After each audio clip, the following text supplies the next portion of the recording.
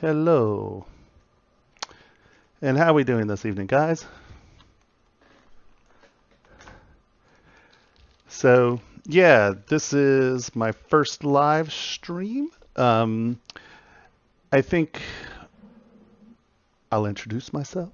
I'm Tomas Wittelsbach. I um, I was a sculptor for a long time, and then I shifted to um, the digital sculpting. I, my friend Dave Krentz introduced me to ZBrush, and uh, and it's been a race ever since then, trying to get it to uh, make physical objects, you know.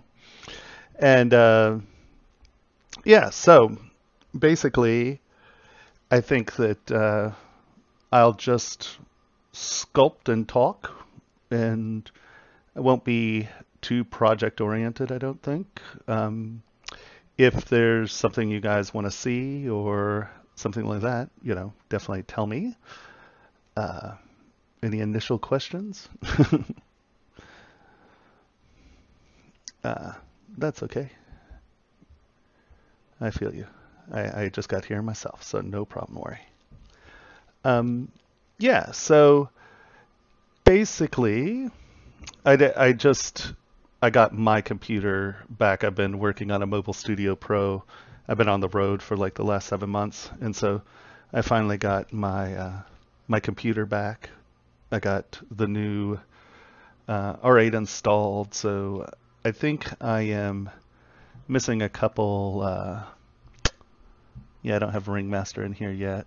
Uh, I'm missing a couple plugins, but that's not going to be a big deal. And uh, yeah, I think that. Um, well, yeah, the the uh, live booleans is absolutely one of the most awesome things in the world, and the um, 3D um, the 3D alpha brushes or the what are they VDM? What's the the uh, the little uh, name for them?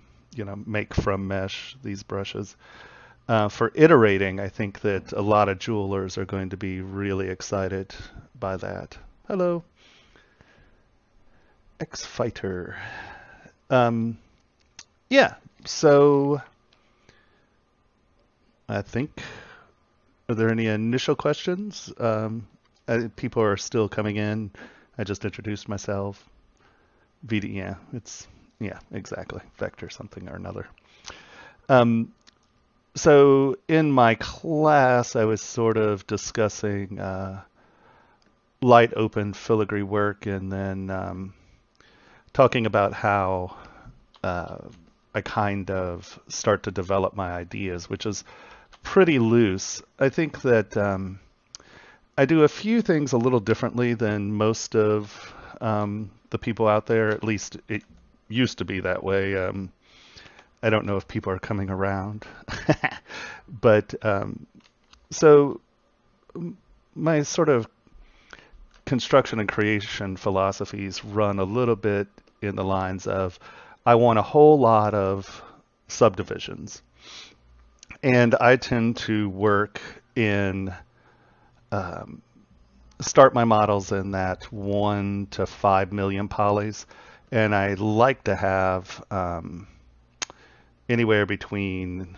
like four and eight um, subdivision levels because that allows us to have the ability to have detail down, start to do moving and changing and iterating. And for jewelers, um, most jewelers aren't sculptors. And so for jewelry, you have to find simple solutions and you're also trying to do something that um, well you're basically trying to build SKUs. You know if you have a ring or a pendant or something that works and that's in your line um, the real power of ZBrush for jewelry is not just the um, the organic modeling part of it, but also the uh, ability to iterate and generate SKUs quickly. And so that's what um, I think that most of the jewelers out there are going to gain from that as opposed to learning how to sculpt, being able to create really nice, original, cool objects. Um, you know, a lot of them are desktop uh, or um, uh, fabricators, so they're doing it in metal, and the computer is like a third world sort of, or a third, uh, um, like a third life selection. You know, I mean, it's like it's far easier to kind of come up with the concept of, um, look, I know how to be a jeweler, I know how to set stones, I know how to do this, and then how do I generate files that can um, be easily produced and printed, and uh, and then in turn that iterating is really the power of it. So yeah, that's I do primarily um, jewelry design. I do a lot of um, weird like little toys and statues and all kinds of weird stuff as well. I used to sculpt for Ral Partha and Citadel, and I made uh, a lot of miniatures for like made 15 millimeter Napoleonics characters for a while.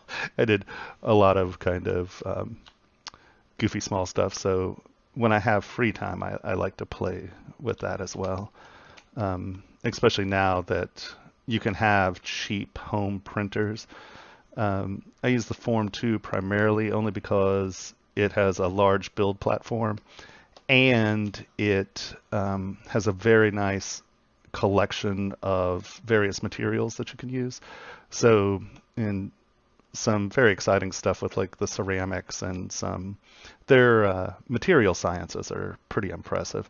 The Solus is a very, very, very good printer for um, small castable objects. If you're just doing, uh, because the build platform at 25 microns is very, very tiny. So as far as prototyping or anything like that, it becomes a little tricky because it's only um, it's only making objects that are uh, one out of a castable resin, and then two the build platform is super tiny. So, but its its resolution is gorgeous.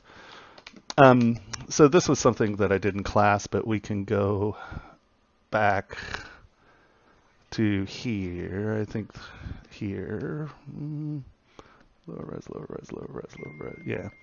You know, just generate it a very simple um, Z modeler block up. And this is often what I'll do. I'll just find a base.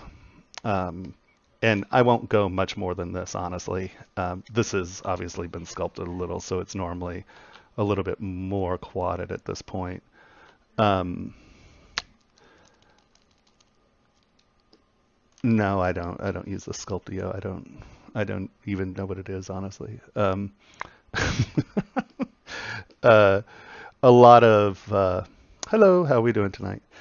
Um, because honestly, I'm working for the most part, and so I tend to only uh, drag the tools that are immediately useful, and then I kind of slowly build on it and build on them and yeah, so uh, I don't know what the Sculpteo.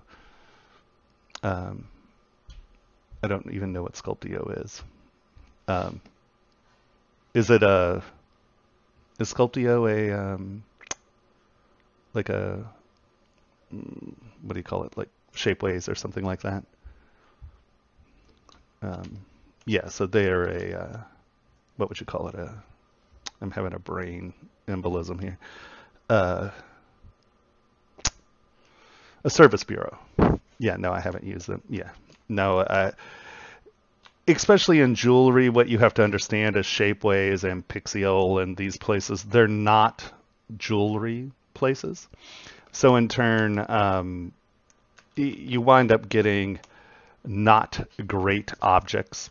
Basically, you know, end of the day, it's um, uh, go to a jeweler. If you're going to actually try to make money off of this, um, you're going to have to deal with jewelers because that's the that's the only thing that's out there as far as the quality of object and also just the knowledge used, the knowledge that's there um, from actually actual jewelry houses and how, because depending on the metals you use, depending on the um, uh, you know, if you're using Argentium silver versus sterling silver versus pure silver, I mean, tons of companies have different alloys, they have different properties. Some don't tarnish, some do tarnish, you know, so um, Shapeways and these places don't offer any kind of real support for that kind of specificity specificity of metals. Um, so you know, if you're just futzing around and you're playing and you just want something in metal, then yeah, sure. I mean, they're fine. You're not going to get good quality surfaces or anything like that. I mean, you know, I know that they're trying to be better, um, and they're definitely getting better, but at the end of the day, they're still not jewelry manufacturers. Um, so, yeah. So my my process and how I kind of go about working with things is I tend to start with a very low, um, here, let's just go here and start. W, the new tools here um, are wonderful. You come in, go 3D cylinder, uh, delete. delete lower, come back in, cylinder, cylinder. Really, you're just not going to turn into a cylinder for me? What is it saying? Am I getting a message up here?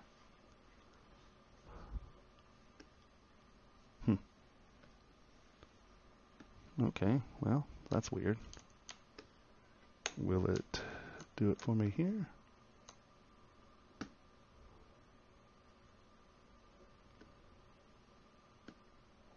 No, interesting. All right. Well, that's bizarro. Here we go again, me showing things that don't work. Yeah, I understand. Oh, do I? Oh, I have symmetry turned on. You don't want that turned on. I don't think that would do it, but let's see. Yeah. We'll just append a different thing. Oh. All right, there we go. Oh, it just took its time getting there. And then I'll split the parts. Okay. Why are we being so slow? I haven't um, used my computer in a while, so uh, I, like I said, I've been using a Mobile Studio Pro, and it uh, it's great. It's just I'm uh, I'm not I'm trying to get my my desktop kind of going and running here. Let's here. So pick enough resolution where you're not fighting with it. W will slag it back in here. Pick a size, any size. All right. Now we'll come here. And no, I didn't save. See how it is? Uh, we want a center line. We want that to be a little bit more. W. And now here, um, I don't know if you guys know how to use the rulers. Um, obviously, if you're just trying to get a bounding box measurement or you know, just the outer parameter measurement, the easiest way is just go to the 3D print hub, update size ratio. And so this is 9, 9 by almost 2 mil. So this is a little small. Um, it's important to get to the appropriate scale that you want at this point. Um, so, uh, yeah, you just kind of keep tapping it, see where it is. Let's get up into like the 24 range. There we go. and now you can go Y, and I have mine set up under preferences where um, transpose units. If you'll notice, unit scale is 1, minor ticks are 10, major ticks are 1, and so that gives me this being a millimeter, and then um, the minor ticks are tenths of millimeters. So whoever says you can't measure in ZBrush or have no accuracy in the measurement of ZBrush is a little wrong. There is actually really legitimate, very tight scale. Um, it's just a little, you know, you can't click a line and say, oh, what size is that? You know, it's a little bit more um, like using an actual ruler. You have to actually go to the surface, drag it, measure it, and and you can see that, you know, it's accurate. I mean, right here, 3.6, it's going down four um, to four decimal points of a millimeter. So, you know, whoever says that's not accurate is silly. Um, you do have to deal with measuring your shrinkages and a lot of that when you're going to printing, depending on what the materials are. Um, and then going into the actual piece of jewelry, it, you lose anywhere between like two and a half percent and five percent. Uh, in some materials, you can lose up uh, even like 20%. Like some of the ceramics and things like that have um, some very large shrinkage rates. But once you know the shrinkage rate, you know, you just multiply it out. Um, so if you know that you're losing 2.5 mil uh, or 2.5% when you're exporting out, you can change um, that size. Caliper Master has a um, an export with percentages, and I'm not sure if this does. Um, size options. Original size. I thought there was a way to get um, uh, like a overall multiplier in here. I, I, don't know if that was something Joseph and I were talking about doing, or it might be in Ringmaster. And like I said, I don't have Ringmaster uh, installed right now. Forgot that. So basically, I'll start with something as low as possible. You want a center line because if you start wanting to do XZ symmetry, uh, you need that center line or it won't it won't give you anything. Uh, it won't act correctly. Also, if you're going to um, try to, all right, why is that not? Oh, it's because it's not center. So I don't know if everyone knows this, but the ability to go to the center of the object, turn off your symmetry, go to the center of the object by hitting um, the little map in there, then hit home. And now you're returned home. That was a a big issue with the older versions. You had to come in here to position um, position and type in zeros. And now, you know, that the gumball is just such a powerful tool now. Uh, let's see, just kind of uh, turn X on. Here we go. Boom. Reverse it. Well, oh no, we're on a wrong axis.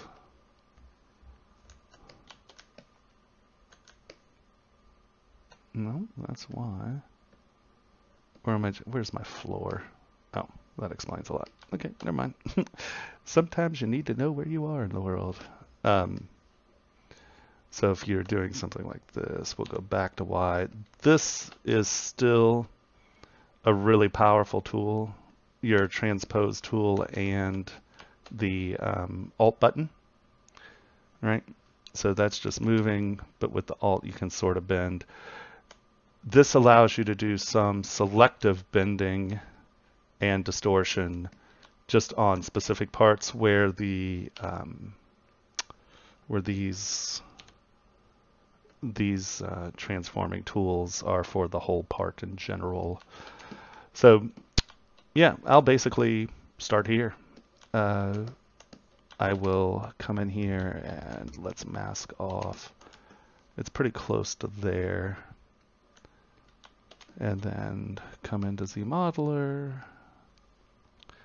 come here, slide, edge loop complete or partial, but we have it masked, so those two don't matter at the moment. And the key to any of this really shooting forward and trying to um, trying to uh, it the whole thing you're trying to do here is uh, mesh management and trying to control where your geometry is. And um, because at the end of the day we have to get these things out of the computer. We're not you know we don't have the luxury of being able to do um, the UV stuff and uh, you know we have to deal with actual geometry. And the detail we put in needs real geometry. It can't be you know like in video games and stuff there's no there's no tricky way out you are stuck with the geometry you have so managing your tool your geometry is incredibly important and so that's why when I come up here we uh, try to make everything just roughly square. You know, try to keep things as even as possible. Um, you're not going to get a completely even quad model, you know. So, uh. But normally I'll start here, and then I'll divide the living Livenhijibis out of it. And I'll go up into that 2 to 7, 8, 10 million polys. Um, Come on. What are you doing? Oh, I hit that button. One. Yeah. Yeah, yeah, yeah, yeah. I know. I know. Really? Come on. Just.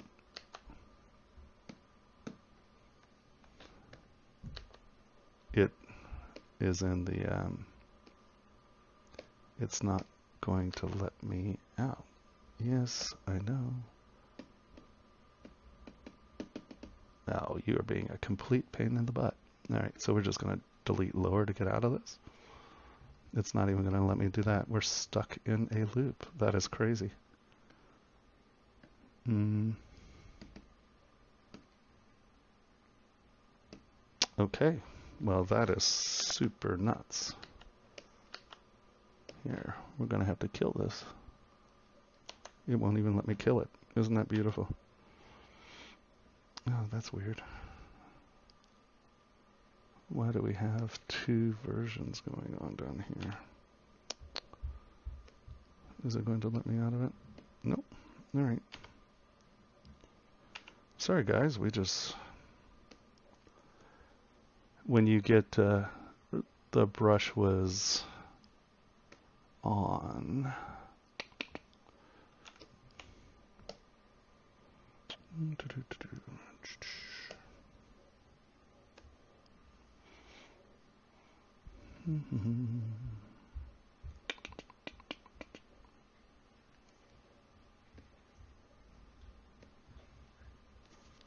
That's strange. Yeah, so here we go.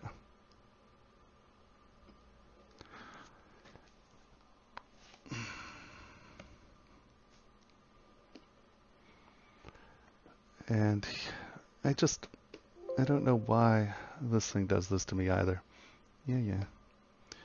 Um, the whole keeping these things in order for some reason, it's like uh, I have to always come back in here and put them in order because I'm OCD and weird. My brush stroke Z plugin. All right, let's see. Did that quick save in? Mm, no, it didn't. Okay. Let us. But you can see I did like weird little figures and things as well. Uh, file. Open.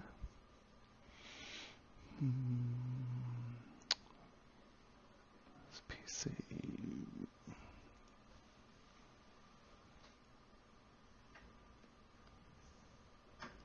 I think we were here. It doesn't really matter, does it? Um, did it load? File. Open. No.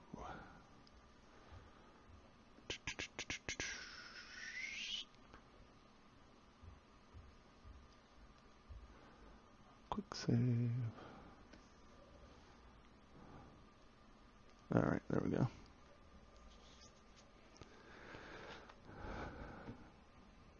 There we go. All right. So let's just go back to here. I have to change my button size. See how that creeps over that? All right, W. We're going to take this and turn this into a cylinder. Oh, we have to delete lower. Cylinder.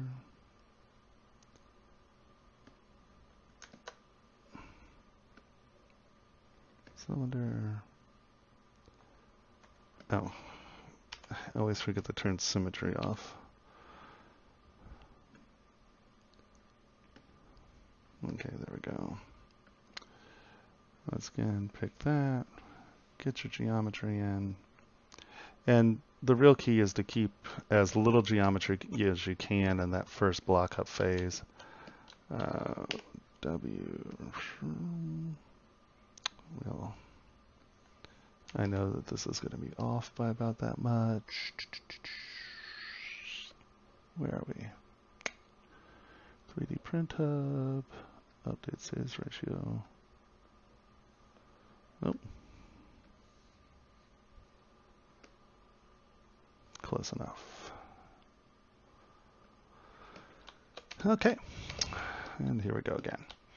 And so now, you know, with, uh, if you're thinking or planning at this point, you can use the Z modeler to start punching holes and stuff like that in it. But um, we're just going to go straight into this. We'll divide it up.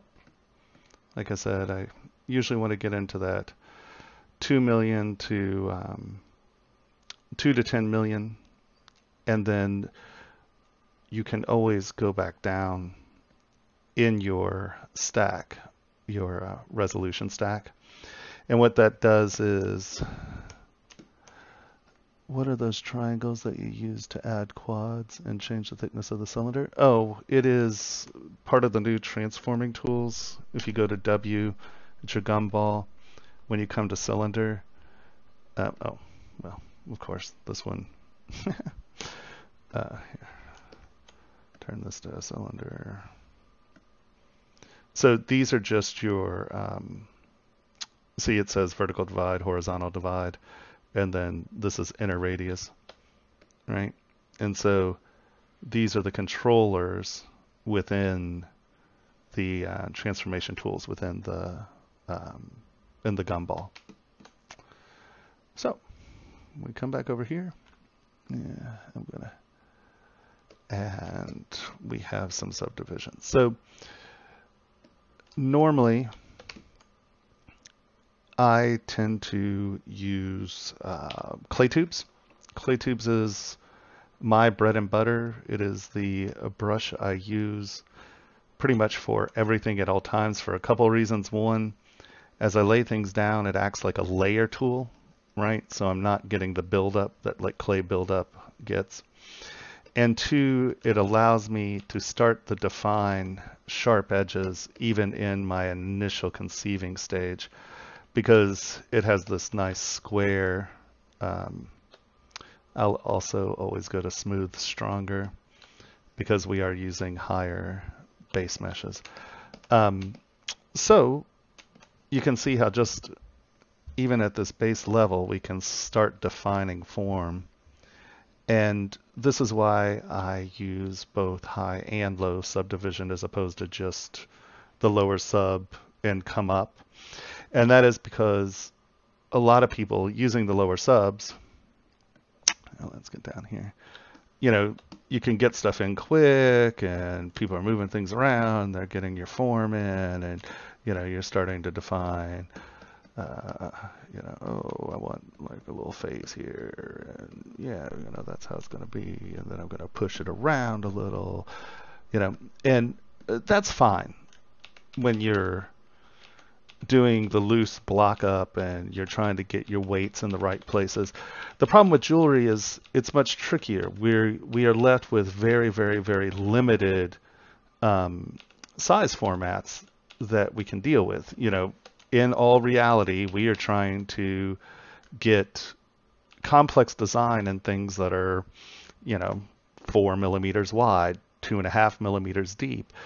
And so I find that it's much better to try to find that vocabulary in the higher res, and then I will start to jump up and down because how I work is I work pretty loose and I don't tend to have a lot of pre-planning in my life. Um, it is, and so we have to center it again. That's fine. Um, turn off X, right? Turn off your symmetry. Go to center, and then go to home. There we go. And now we know that our symmetries are going to pan out a little better. Uh, is its own librarians. Do you still use Modo? No, I don't use Modo much at all anymore. Um, there are still a handful of things that it's quick to do in Modo, or I have older models that are in Modo that I'll use, but I I'm on Modo 9.2 and I think they're up to 11 now, so I haven't even I haven't even updated it. Uh, I was actually contemplating that the other day. Is that something I need to do? So once again, clay tubes. We'll turn on symmetry because it's a ring. We'll do a quad symmetrical ring. Where's my floor? Okay, my floor is down. So I'm looking down at the top of this, turn floor off, and um, and as I work, I'm not too worried about keeping my mesh clean. And why a lot of people have problems working on the higher subdivision levels is exactly this. So we've put this down, we haven't been real careful, we've been blocking out, and now you try to smooth this. Well, people, you'll always hear the complaints like, oh, well, I can't, I can never get a surface smooth, and they're coming in here and they're trying to use trim, and you know, you're like this, and then you get these little waves in your surfaces, and that's why the subdivision levels are so important, because I can, you know, spend a very short period of time doing this, and I use my clay tools like I would a clay rake. So I'm laying down lines, so I'm getting um, the shadows, and that that allows me to see the contours of the surfaces better. I find that the Ma Dirty Blue is the best material to use. There's a gray that works pretty well as well, but um, this is the closest material I have found to what the detail will actually show up like in a printer. Because, you know, a lot of these have very melodramatic, where's the one I like so much? Uh, you know, this is great and melodramatic, and it looks like you have all these wonderful lines in there, and you're like, yeah, you know, the subtle stuff's going to show up, and this is going to be great. And it's not. That detail's not there. That's a rendering trick, you know? Where here, this is, like I said, this is the um, the closest that I found. So I tend to tell people to use the Ma Dirty Blue only because you're going to get sort of what you have out. Now, the beauty is we can go here, we lower our res, and we smooth it out. At the lower reses, hold on, got to turn that thing, right? And then higher res and you just smooth it out, higher res, smooth it out. And that's the way you can control your surfaces much better in the higher.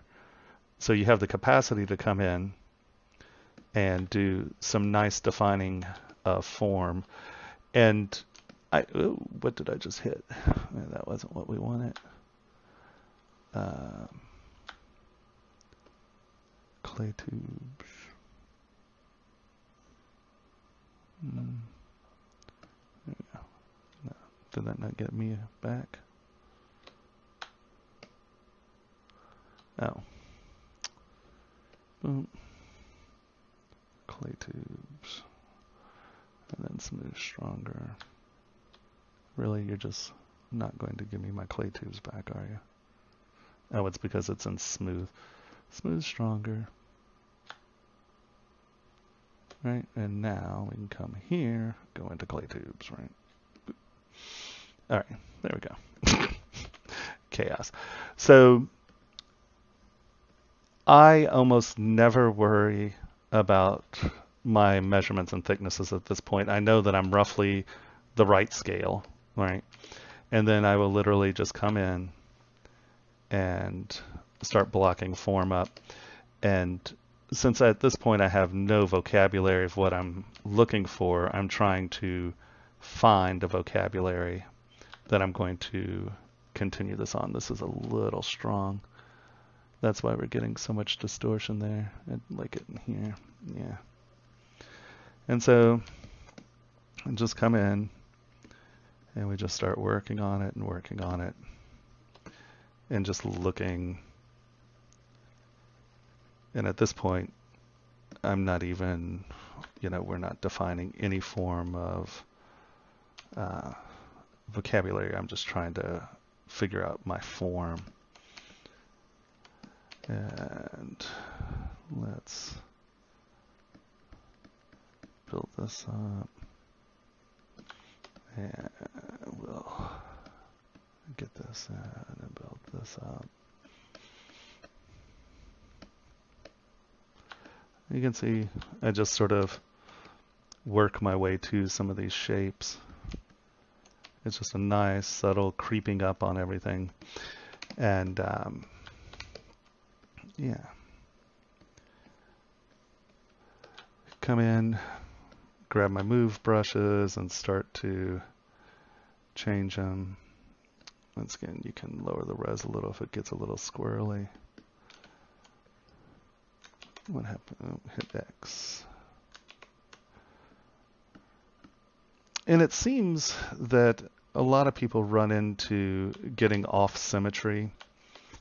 Uh, that's another really nice reason to have uh, your um, to have your multiple subdivision levels because you can always go all the way back to your lower subres and um, come up under deformation.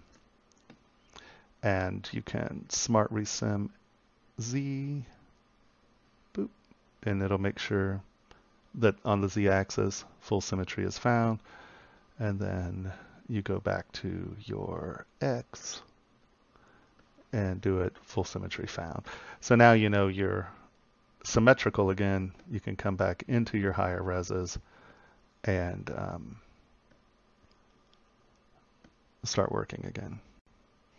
Knowing that if you got off symmetry, uh, you can now uh, retain it again. Oh, that's why that's doing that clay tubes again. And so, you know, I'll just work until I find a form I like. Yeah, let's keep that out a little more.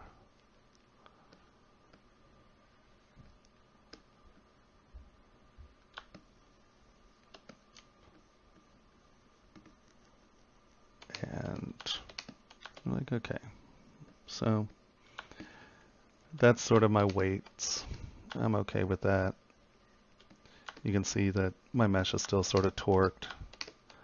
But uh, yeah, and you know, once again, come in with move and just fuddle about with it until you're getting, you know, what you're looking for.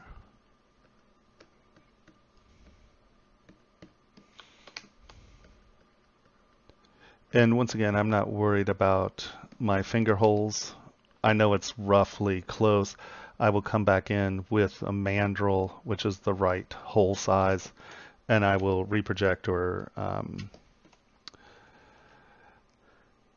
um, I will contemplate.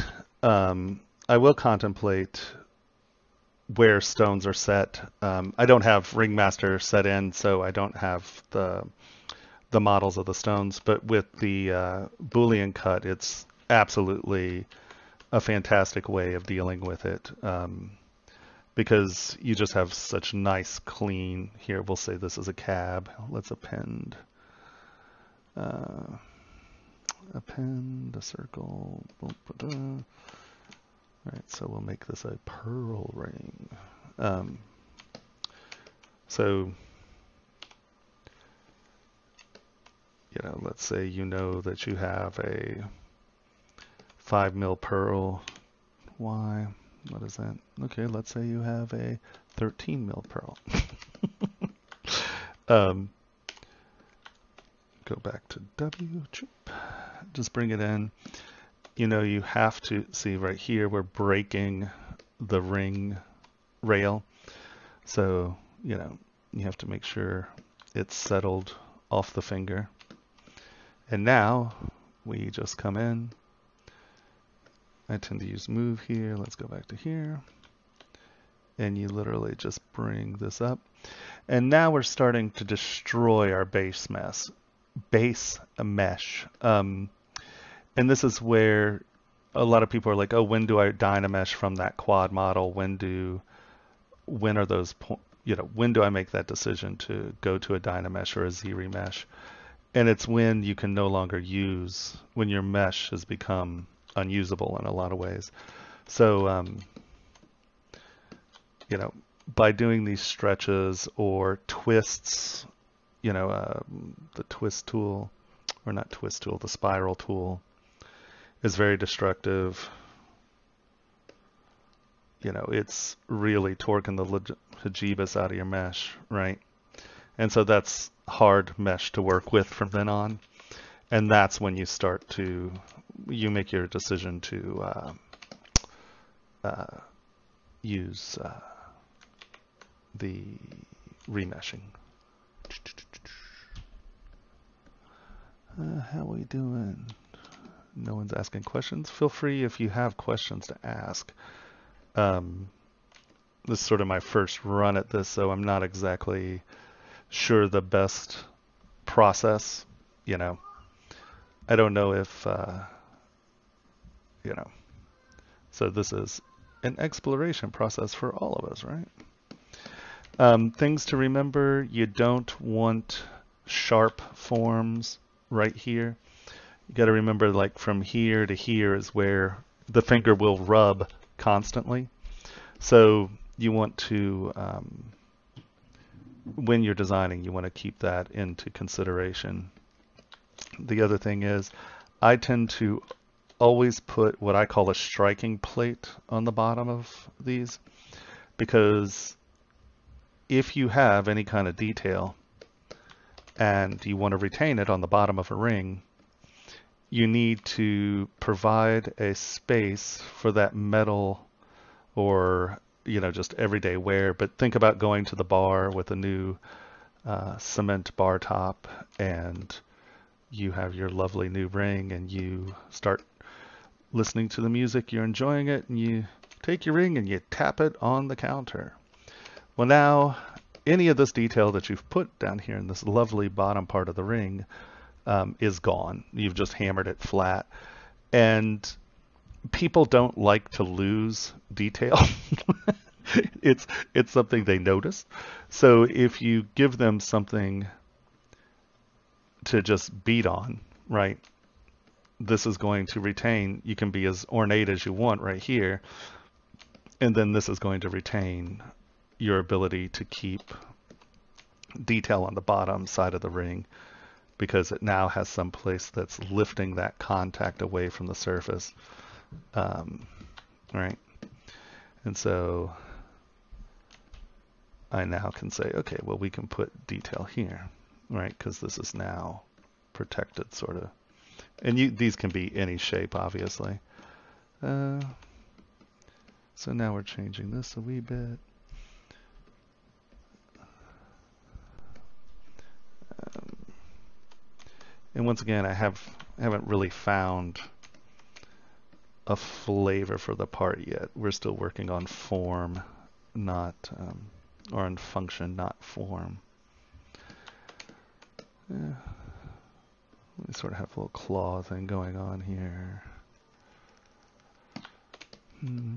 And so now, this is a point you're like, okay, well, am I going to turn this into sort of a gothy clawy ring? Are we going to, and you know, you would probably have some idea with who your client is in some ways. Um, so some of those stylistic decisions are probably going to be made before you sit down. But if you're just designing for yourself, um, you know, these are the points where you're like, okay, well, now it's time to make decisions. Is it going to be super organic? Is it going to be hard modeling? Is it going to be blah, blah, blah? So let's go in a different direction. This looks like it should be bony and, you know, kind of organic. And let's just take it to a slightly different place and make it slightly architectural. And um, everything I do is still going to be very organic, but as opposed to looking like meat and bone will make it look like it was a designed hard surface, you know.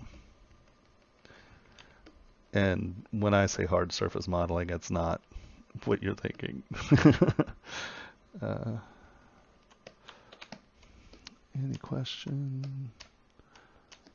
Yeah, so the other thing you have to remember, and this is something that I think even some of the hard modeling or hard surface modelers should learn or pay attention to is it's really easy to make cubes and flat surfaces.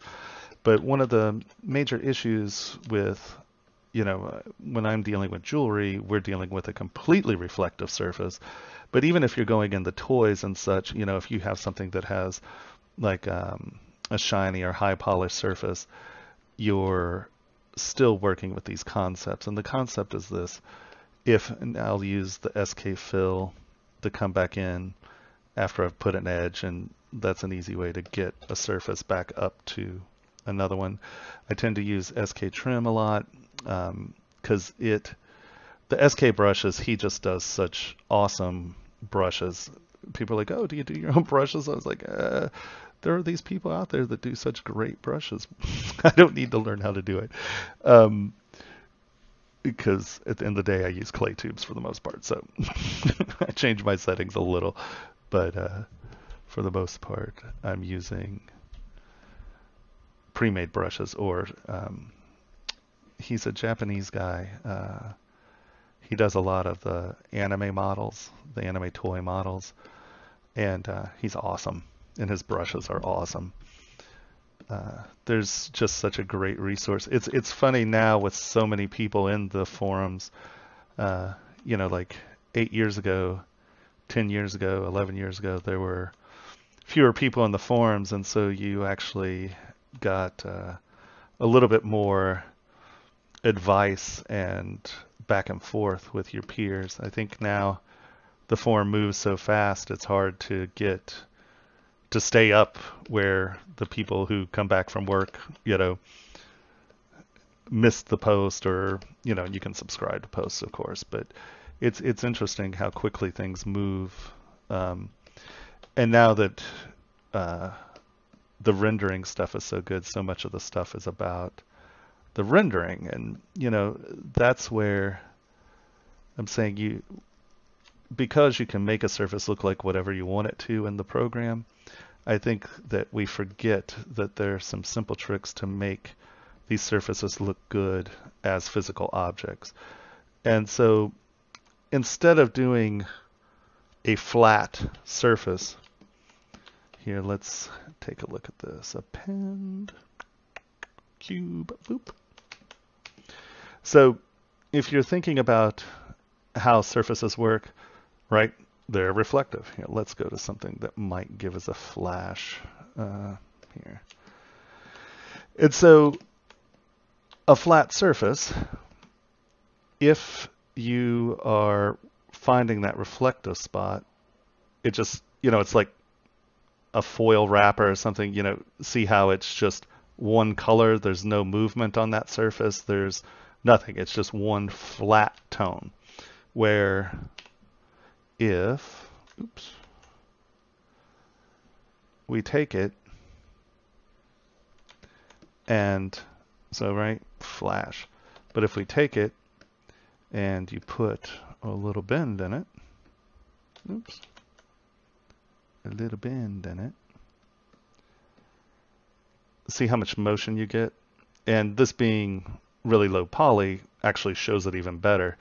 So even if you're doing something that's supposed to be flat if you put just a little bend in it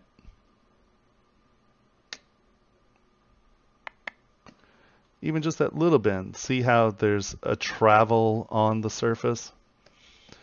And that travel creates visual interest. Um, I, you know, um, I can try. I I don't really remember what his name is. I know. Um, I I'm sure I have it somewhere. I'll I'll try to find it for you. Yeah. Um, and then see, he's he's well known for what he does. Uh, I just my memory is absolutely pathetic. So sorry, uh, but I'm sure we can find that out for you. Um, so, and now here you have a complex compound curves, and see how much activity there is on the surface. That's real important, and it's something that I really wish a lot of people would pay a little bit more attention to because it makes your models much more compelling and much more dynamic. And especially, you know, in the world of jewelry, you're dealing with stuff that is super small and you have to get a lot of bang for your buck. And so trying to get that bang, you know, you need to think about how surfaces work. So if you have two flat surfaces. Here, let's polish this out. Right? And we're going to polish this. And how most people do their detail is they'll come in and they cut in detail. We don't have enough resolution for this. Let's divide it some more. Right? They'll come in and they'll cut their detail. Well, your brain I don't care how many lines you put on this. Your brain is not going to view this as a complex surface. Look, it still flashes as one thing, right? You're only getting that one surface flash because, well, that's not a complex surface. It's an illustrated surface. Um, where what we're shooting for and what's going to, what has worked generations in sculpture and glass and jewelry and anyone who's making small ornate objects. Um, what you learn is having, hold on, let's, oops, let us, I tend to like the focal shift on my, um, on my masking brush sharper. I want harder edges when I mask, a little bit more control, not as much bleed over. And so instead of little lines, what we want are little layers. And it's often nice. Here, let's do one more.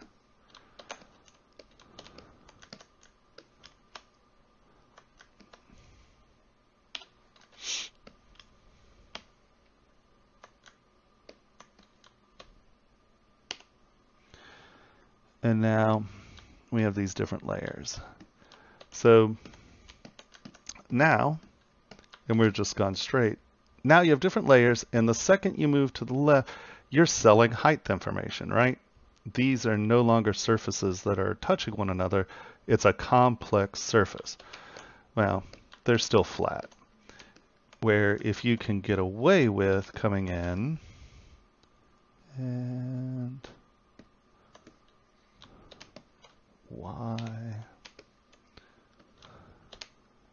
Alt transpose gives you a little bend. And now let's go to, no?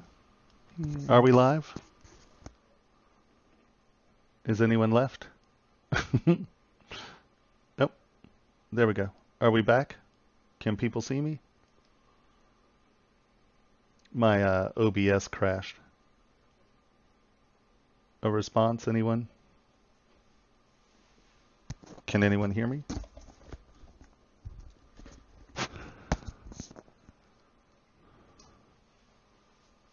It seems to be going, but is there anyone still here? Can anyone hear me?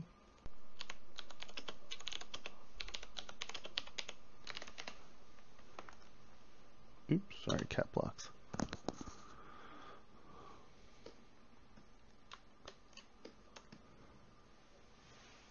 It looks like I'm streaming, but I don't know if my audio is going. I'm not getting any responses from you guys saying you can hear me.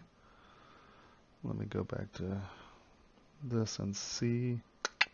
It says I'm... Hmm.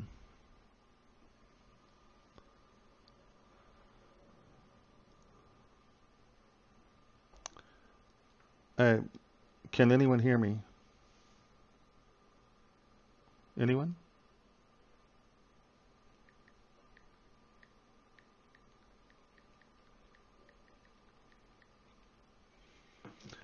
Can anyone see my um, thing? Anyone at all? Can you hear me? I'm not even getting a no. Um,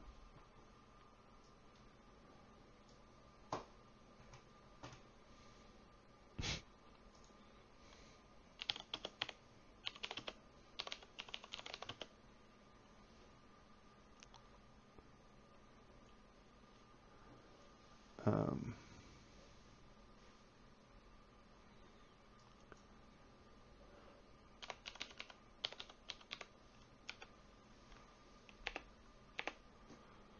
mm,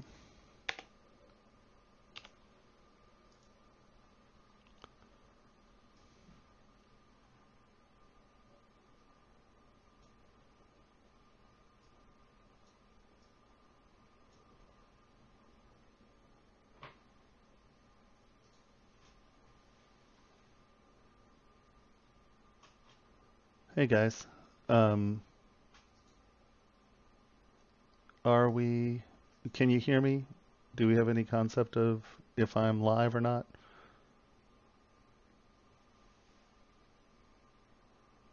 Hmm?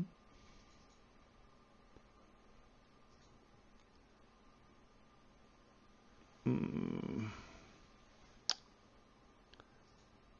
Should I keep going, guys? I mean, can any of you hear me? Is there anything going on?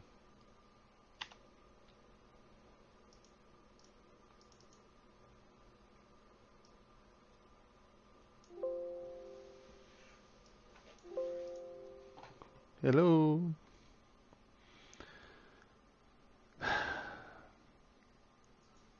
Do I need to refresh? Is there something?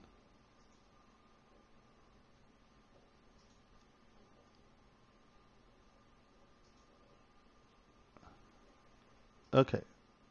So, on DXP is a show that defies description. All of your favorite people in one place playing video games. What could go right?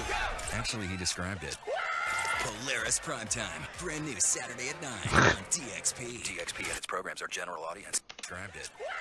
Polaris Primetime, brand new Saturday at 9 on DXP. okay, so I have refreshed. Sorry guys, I didn't. Programs are general audience. Described it. It's new. Polaris Primetime, brand I'm getting. Uh, at 9 on DXP. mu- okay, there we go. Ah, sorry guys, I didn't know I had to reboot my chat. Sorry, new to this. okay, well, I'm sure that was incredibly exciting. So here we go. Once again, hold down Alt, the middle button, and we're getting a slight bow. Once again, these don't have to be super dramatic. But you can now see with just that slight bow, we've changed where these surfaces start to play. And this is kind of a crappy um, material. It's not really doing it, but you can start to see how you can really dictate where the eye travels by bending your surfaces. So the other thing I kind of want to get across here is we have, I tend to use the twist. This is one of his hair brushes. Um, let's turn that down. Let's go over here. Boop. And uh, what it gives you is this lip, right? So you get a round lip and then sort of a scoop. So what this allows you to do, we'll take our SK fill, clay fill, and we'll fill it up behind here. And what this does, as opposed to um, as opposed to uh, just using a flat surface, it gives you this half round edge, right? You get this this round on the edge, which allows that edge to be brighter from a lot more angles. Where if you just have a sharp edge, right? And you have a nice flat surface, well, you get the flash there, and then you have a constant little edge, but it, it really is only bright from when this side flashes or when this side flashes, right? See, that's bright, no, that's bright, but that edge is not necessarily compelling. So just remember that curves reflect light in much more complicated ways. Um, and so, um, yeah, so this is something I want you to remember, even if you're making figures, if you're making hard modeled objects, if you're doing any of that, I'd say especially if you're making hard model objects or hard surface modeling, you know, you can easily, you know, get a, let's say you have a grate, Oh, look, it's a grate. Um, right. Just by, instead of cutting the lines in, you just raise the surface just a hair and then come in and what edge to edge just give it a little bow or a little recess you know and what you've done you're creating nice curved surfaces that reflect light and that's super important for complex surfacing so you wind up with a nice object, right? All right, so we're back to this guy. And you can see that I'm not trying to get sharp surfaces. I'm just trying to get nice, clean, smooth surface. Like I said, we're making it a wee bit more architectural than, um, than uh, organic at this point. So these will feel like exterior plates or something in that vein. And uh, uh, do you do commissions? Well, yes, I do. Uh, sort of how I make my money in a lot of ways. I, I, I, mean, I do my own jewelry, but I tend to do uh, a limited number of commissions, and that allows me the freedom to kind of work at my own hours and take the time I do to go have fun. I'm old. I like to have fun. the concept of, of working someplace where I actually had to work business hours, I think everyone would be far happier just to allow me to work from home. You're going to get more hours out of me. You're going to, you know, it's going to be better for everyone. So, yeah, commission work is primarily all I do. If I'm working for someone else, that is, you know. Um, I tend to use pinches a lot and come back in and get. But once again, pinch is a destructive tool. I don't use it heavily until I know I'm ready to trash the mesh and then go to a remesh because you can see here we've we've stretched this out to the point that this mesh See how distorted it is? So if we do come back in and want to put any kind of linear or clean detail on this, we have a much, you know, look at what your surface is here compared to there. So once again, you're trying to keep your mesh under control for a longer period of time. Um, and so that's why I tend to smooth, put on smooth, put on smooth, put on uh, clay tubes, right?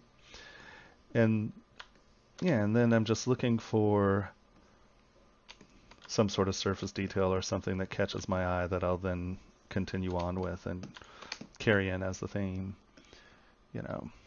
And I tend to like sort of the contrast between the organic and the plate or mechanical or hard surface or however you want to describe it. And so you just come in.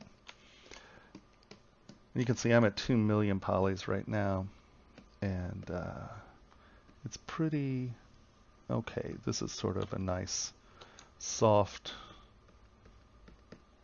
detail. You know, these you're not going to get 25 micron details at 2 million, but it'll allow you to come in and get a little bit more finesseful with the surfaces.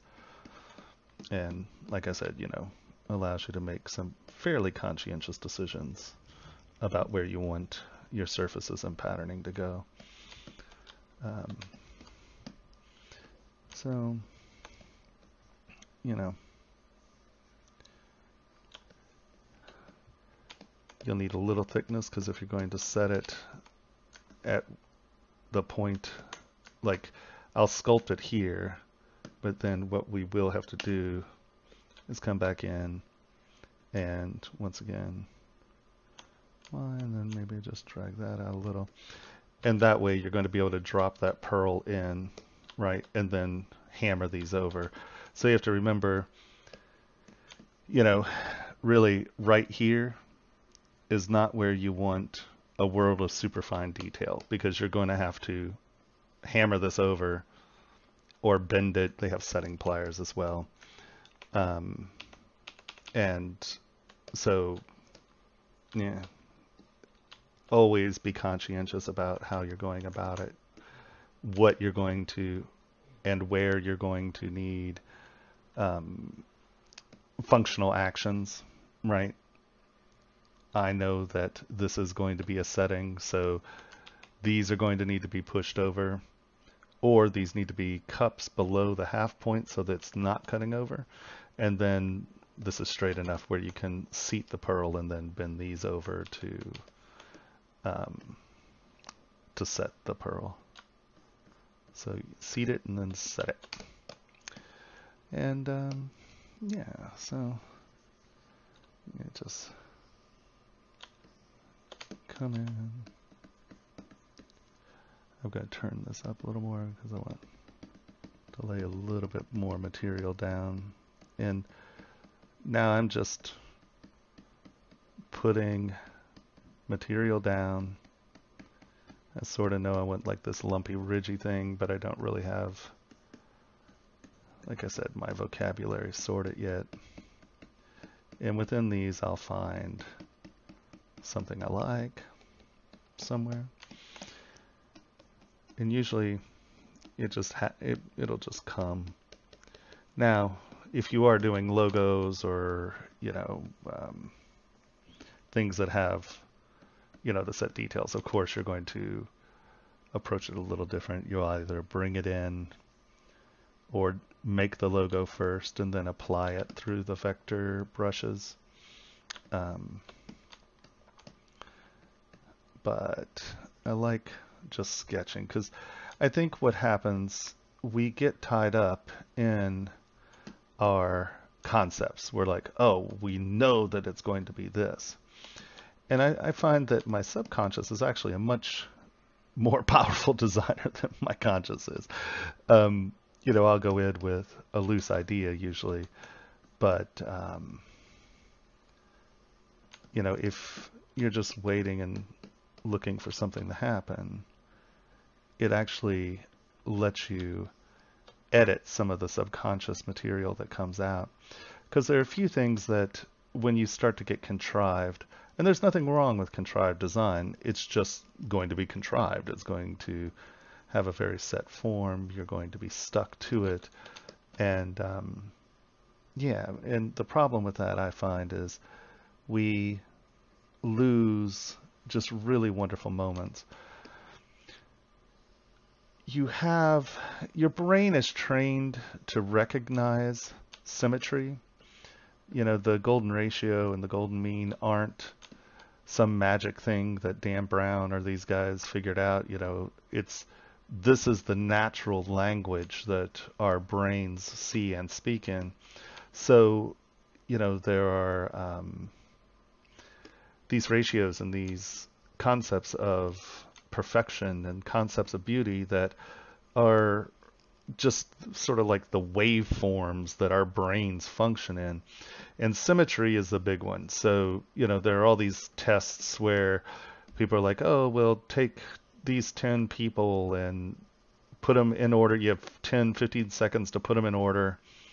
And uh, according to who's the most attractive, you know, and 99% of the time we put them in the same order. And that's because those pictures are contri- contrived specifically to be more to less symmetrical. And we like symmetry.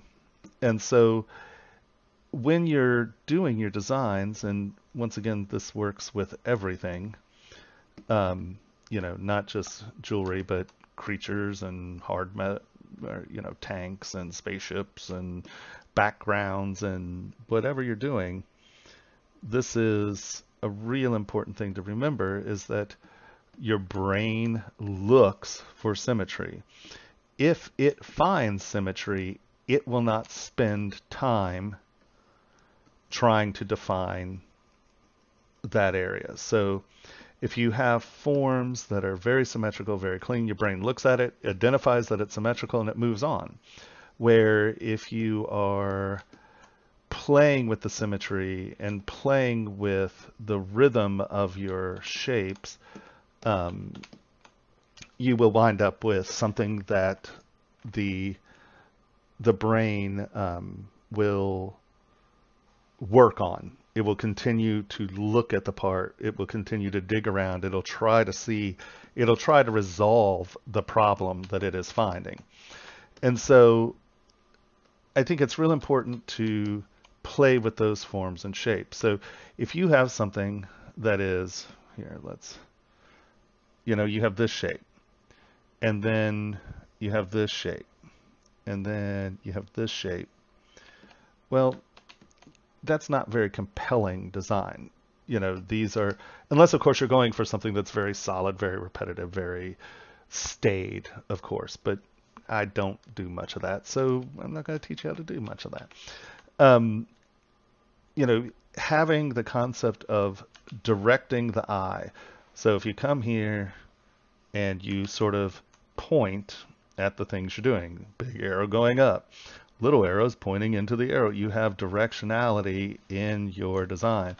Now, doing something where, let's say you're doing hash marks and, you know, they're tight and they get looser. You know, these are ways of dictating where the eye travels. And um, I'm trying to get uh, someone who does eye mapping software to work with me. I've I've contacted him and he has a thing that's kind of working, but there's a lot of eye mapping stuff in marketing and some art analysis after the fact, but I don't know of anyone who's doing it in the creation process. And I think people would be surprised at how our eyes travel on surfaces, you know. And you have a lot of control in how you dictate where the eye goes in your part. And that's where even changing the reflection surface, you know, if it has a dip in it, it's going, your eye is going to follow that light curve. If the light is traveling, right, you know, let's say you have a nice scoop in here and the eye is traveling along that, that will lead the eye up to here, right? You know, and from a distance, you'll see that movement. And that's why diamonds are so compelling. You know, I mean, really, what's a diamond? It's a friggin' clear thing. Who cares? Well, why they have that flash, you know, they're so dense that light slows down in them and you get these elongated flashes and you can i mean a perfect cut diamond with perfect clarity is mind numbing you can see it from across the football field. I mean they, they flash and you're just like what was that? And that's why diamonds are so compelling because they really do sort of defy what our brain thinks it's going to see. And so you know giving your brain or giving your viewer's brain something that's unexpected will get it into that problem solving mode. It'll be like, oh, what was that? What am I seeing? Why? Why is it happening? And, you know, it's all happening incredibly fast and, you know, uh, incredibly subjectively because, well, you know, we don't really see anything. Our brains are just interpreting electronic, you know, electrical responses from a, an organic organ that, you know, our brain is inside a box with no light. It, it doesn't see anything. It's only filtering things in. And so that's why, you know, there are these great optical illusions that are powerful because our brain is sort of trying to prejudge what's about to happen from you know these soft comparisons that it has dealt with before and that's it's sort of interesting some of the research in uh, what do they say you know free will and this and that because they're saying that your your brain is actually making prejudgments before you make a conscientious decision about it. And it's fascinating. And we know that it works with uh, color and tone, you know, often when you're looking at, uh, you know, there's the great example of it where it's uh, like a cylinder and um, it's a checkerboard floor and this looks darker than this one because it's in a shadow so the comparison between the two tones you know it, it, you're completely judging tone by what it's surrounded by. And so in turn, you're constantly judging surfaces by the context and what they're in. And that's where I think that using visual rhythm or surface rhythm, you have a nice flat surface, but then you have a chattery surface, and that chattery surface will dictate where the eye is traveling while you're doing it. And so you can see here, I'm just drawing these in, right? and once again they're not real exciting where right not super compelling let's get rid of them and just see how once again using the twist and coming in oh it you don't want to use um, quad symmetry while using twist. It'll only work on one. Um, um, it'll only work on one axis. So you can see here, this is the curves here, and here the curves here. So if you're going to use twist at this point, choose one. I'll choose X, so my they'll be symmetrical left and right. And you can see how this is a lot more compelling just because it has a little roll on it than the straight dark hatches.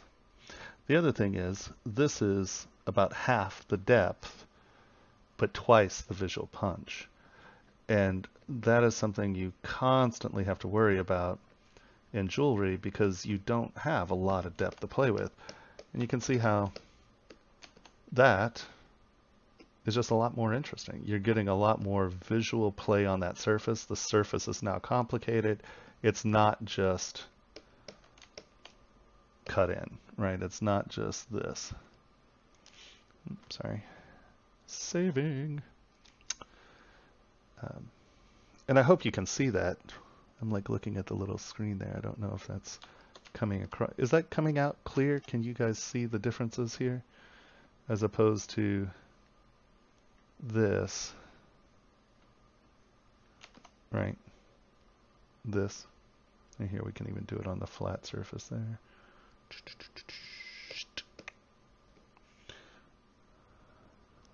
That's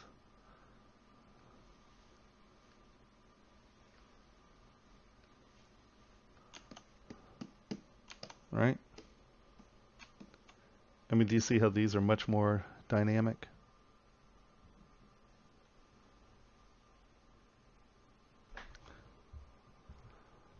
Sorry guys, that's just super odd. It's not the connection, it seems to be uh, OBS keeps crapping out. Um, sorry about that. So, um, I, I assume that you can see the dramatic difference in those two things. And what's nice, if you look at the profile, look at how much more shallow these are. And even if you cut these deep, you're still going to get so much more dynamic play off a surface that's doing this than a surface that's doing this. Because your brain is going to identify this as the same surface with lines cut in it where these are surfaces that are going in, under, over, in, under, over.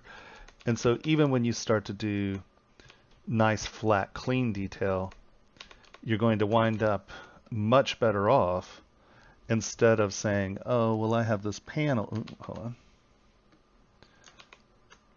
I have a panel going right here, right? compared to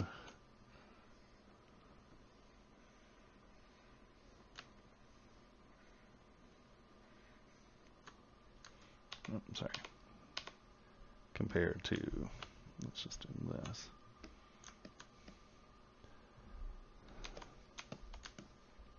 Oh we're on. Turn these off. W.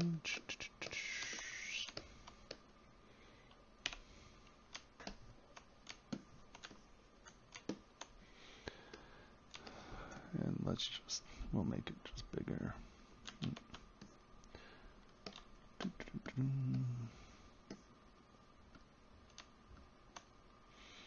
And we're just going to up a little.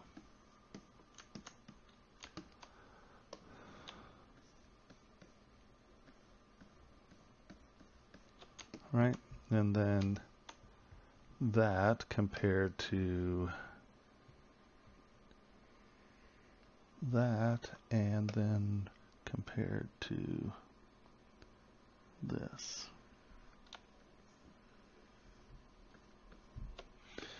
And then once again, I'll use the SK clay fill behind and fill up that back edge, right? And you can see how this is not very compelling at all. This is, you know, better because you have a surface change there.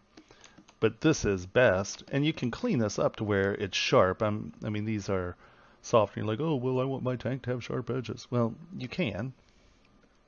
You know, you can clean this up some. I don't know if you know about uh, Lazy Nezumi. Uh, here. Boop. So Lazy Nezumi is this really cool program that will hook into any other program. Come on, there it goes, that red line. And then you get these wonderful constraint tools. Um, so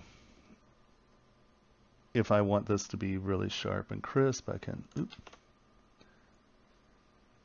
do that and then hold down control bring this over, get my line in, and then I can do that.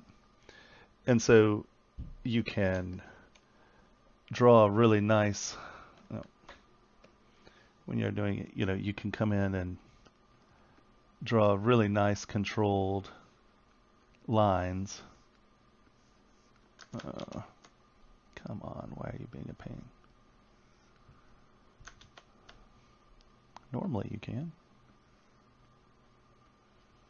Right. And this also has this has a bunch of great tools, but the other thing that makes this worth every penny, I think this like a 20 buck, 20, 25 dollar program is um, where's ellipse? There it is. And so you, you know, for those of us who try to draw circles on things and um, you uh, try to get the radial to work for you, well, no, here. And now you can just draw circles wherever you want. And it works with radial symmetry. It works with everything else. Um, and so, you know, you can come over here and draw your circle. The other nice thing is hold down control and you can um, change the direction and change the shape. See, you can actually make it an oval. And it just, it's a brush constraint. And so it really allows you, and if you hold down shift while you're, so control, and then shift, it, it locks on, um, it locks on your degrees. You, and they're completely programmable. It's crazy. It has tons of different things, but also radial lines is a pretty good one. You can use it, you know, to get, oh wait, radial lines, right? But I don't know. This is uh, really good, worth every penny. Um, it does silly things like little gears. I mean, it does all kinds of wacky stuff. But all of this stuff's programmable, and uh, they use. Um, I actually tend to use this um, lazy mouse because I like the pulled string, and I can change how it works and stuff. So I don't use a lot of the the new lazy mouse except for using it as the constrain tool, like when it has its constraints. Uh, so Lazy Nezumi is awesome. It's a great tool. But, I mean, sorry, distracted me there. But you can see how this actually reads very well compared to this. And if you look at uh, a lot of um, people's sculptures, you know, they're, they're like, okay, well, you know, I'm going to put wrinkles in pants. All right, well, here we're going to do a wrinkle and a wrinkle, and it kind of dents in here. And oh, look, now we have that sort of wrinkle. Well, that's not wrinkles in pants. That is, you know, that's uh, lines on surface. And I just think that uh, a lot of people forget to sculpt when they're doing small detail stuff. And so I think that's one of the things I try to get across a lot. Um, that, you know, motion, visual motion, um, you know, uh, just trying to keep rhythm and form.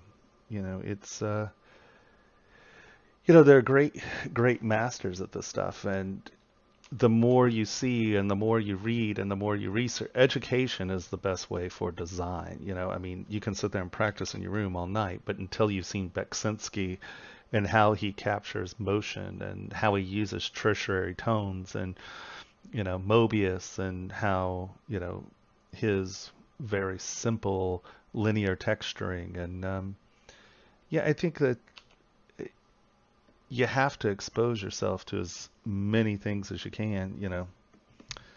Uh,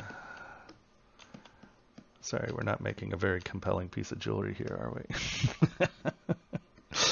um, but let me see. I think I have this guy in here too. Um, this is an inset panel for the sugar skull. Let's look at that. Wow, some of this, I haven't touched this computer in a long time. It's been seven months since I've had my poor computer open. Um, here, actually, I think that this will work. So here is something that the sugar skull, come on, the sugar skull. Um, another very important thing going to the inside of your rings. This was flipped because I was using it to project. Um, flip. Come on.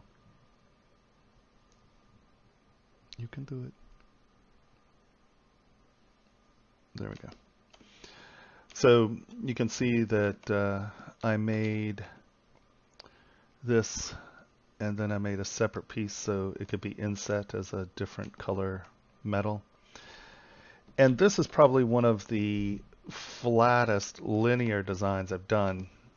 And that's specifically because this is supposed to look like, you know, um, the sugar skulls. So these are supposed to be just, you know, like cake dressing or something, you know, so just squeeze out tube. So you can see that this is straight linear. But the second we get into trying to do this, making these as steps, right, even in this form here, this is in front of this, which is in front of this, which is in front of this. Thinking of these things in layers, right, that is a lip that's actually above this surface. And, you know, you can see these round curves in here and just trying to keep the stuff round and nice curved surfaces are going to give you a lot of good light reflection. The other thing I would say is sculpt on the inside of your jewelry. It gives people little secret stories to tell, you know, like put little like little dumb hearts up in there. Or, you know, I'm often putting, I use this area to put things like letters, numbers, or things that are relevant that are these cute little stories that allow people to um, get excited and feel good about their pieces of jewelry because these are personal journeys, you know. And uh, people buy jewelry to, um, you know, make landmarks in their lives. And you can see here, even in this, um, mm, come on, even in the little vignette in the back here. Actually, I think this is on a separate subtool, isn't it? Or separate poly group. Oh well. But you're kidding me. Okay. But I'm going to, before I close this out, you can see here even, see how these are rounded surfaces that, you know, this isn't just drawn in.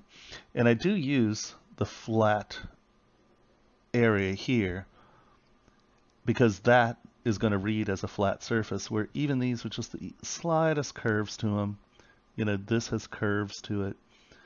Um, you know, this is going to read and project light very much different than this area here. So, you know, you can use this is a flat surface in comparison with this is a draped surface.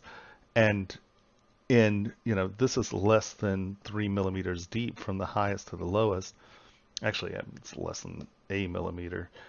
Um, and sorry, we crashed. I'm having all kinds of joy today. Come on. Come on.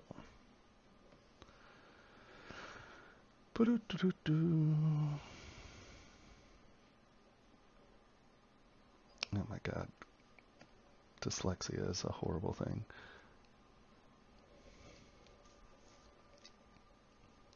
right? It's live! uh, and then I'll bring up a figure as well and uh, kind of show you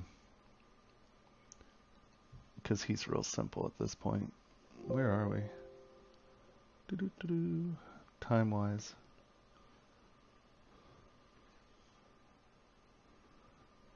Good morning.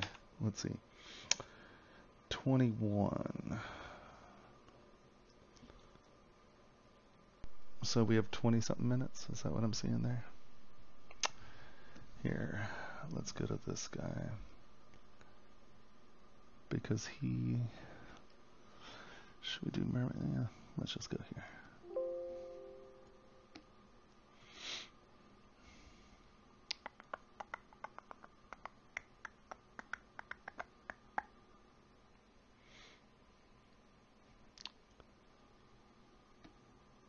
Come there we go.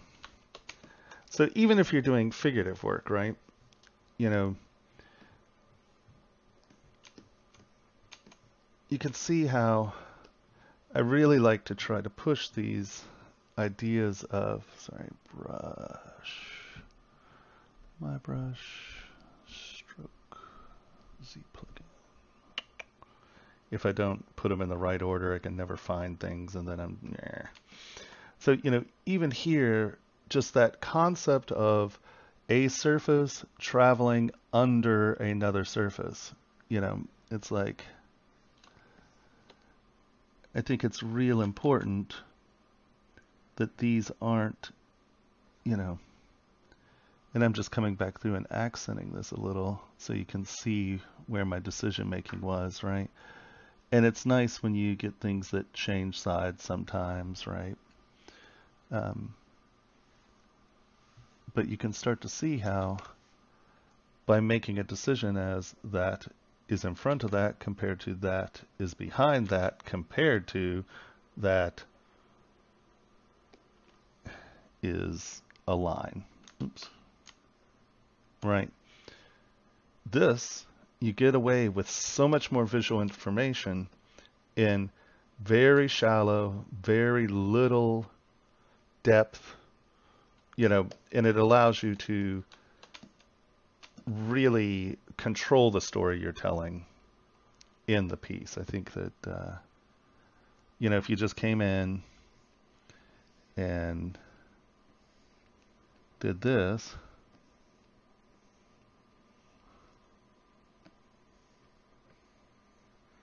right? Well, what's your brain do? Your brain like, that sucks. You know, I mean, it's like your brain looks at it and you're like, oh, well, this is obviously someone taking a tool and cutting lines in, right? Where if you're using nice subtle transitions and over and unders where your surfaces are transitioning, right? Then these become much more, much more interesting things going on. And I know that's a little bit of an exaggeration, but I mean, look at people's work. You know, you you will start to see how people don't um, don't layer things. They don't decide that things are going over one thing and under another. You know, and it really tells a different story. This, right, is a completely different thing than this.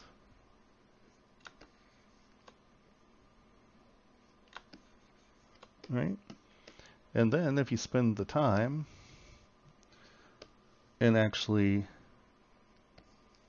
get it to go under a touch, mask it, move, just push it a touch. You know, now you have much more complicated surface stories and your brain is going to start to read and understand those and those become very powerful visual storytelling tools, right?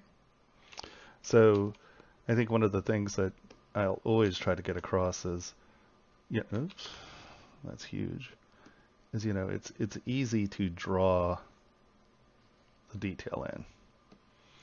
It's much better to have it be a level change because when you start getting your reflections, not only are they just more compelling objects, but when you start to get your reflections off the actual pieces, come on, let go.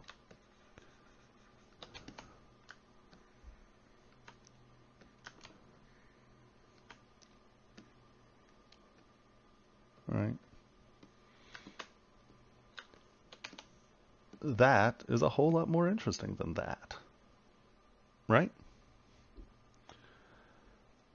It's great for pinning a reference image over your software. You can dial down the train. Oh, nice. I'll look at that. Um, so you know, I, t- you know, the stories I'm telling are jewelry issues, but I really think it's important that people understand that these are issues in any sculptural object. And so, uh, where's my twist? You know,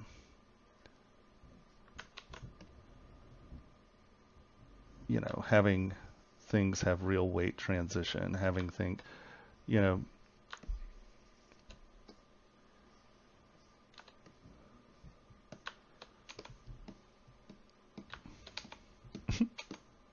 this is a goofy little figure guy. Uh, let's, where's his head? Yeah. Just start with him. It's funny, I actually have the one, this is sort of a scrunched up bat face. Um, the actual finished head is funny. But, you know, so I think, or I hope I'm trying to get that point across about this, what and how you lay in your linear detail is so important, especially on small objects, because you have so little depth and so little room to start to sell these depths, you know. And here, let me find a picture. Boom. No, that's not it. Let's go here.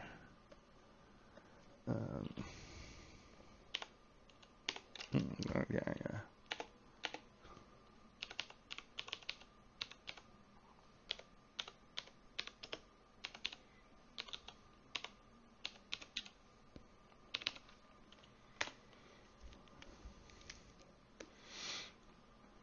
And so you can see this is an early version of my piece. And then you can see how when people start to knock it off, you know, this stuff is easy to match because it's super simple, you know, linear.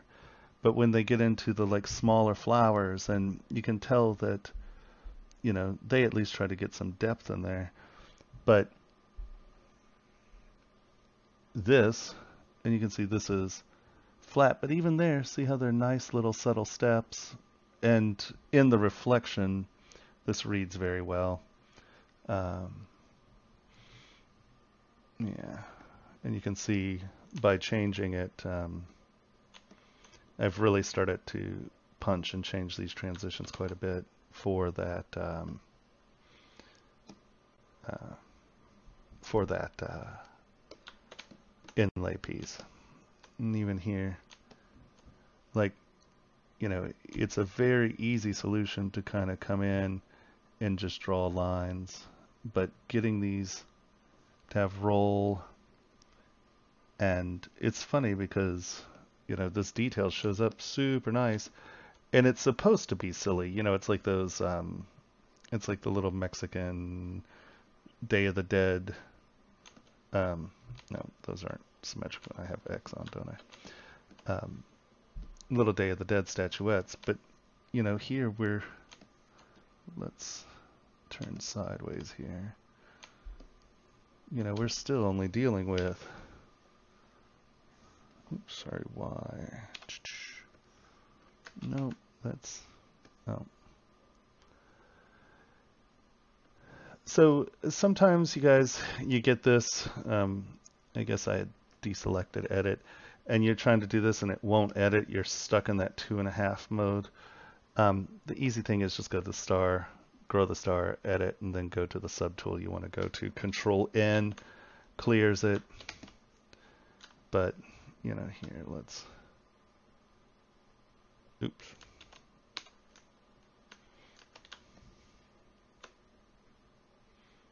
Right.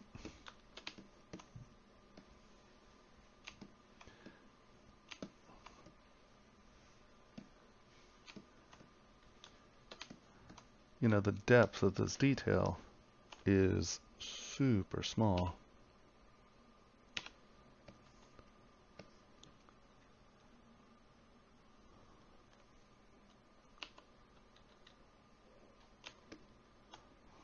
Why? You know, you're dealing with four tenths of a mil there, you know. And what's nice is these things show up, and that's a deep part, right? So by having curves on these surfaces, you can get away with really nice ornate detail that reads because of the curves. Um, and let's just look at one more thing here. I think. Hmm, let's.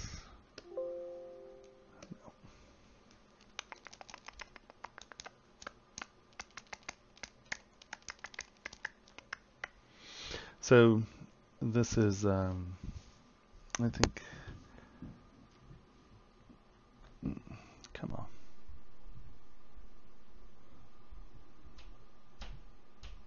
We are just chugging along. I wonder how big this model is. Yeah, wait for it. Wait for it. I have some big models. Some of my production models are like eight gigabytes. I uh, I get a little silly. Um, so for the really like for my production jewelry, I use a um, SolidScape machine. They start at about 28,000 and they run to about, um, I think their top of the line one is 38, almost 40. Um, but the problem with that, it's it's not a great home. Well, one, it's expensive, of course, but two, it's not a great home machine because you have to keep it running, have to keep it running. It's persnickety. It's, but there's nothing like it. It is by far in my book, the best printer for printing subtle surface differences. One second.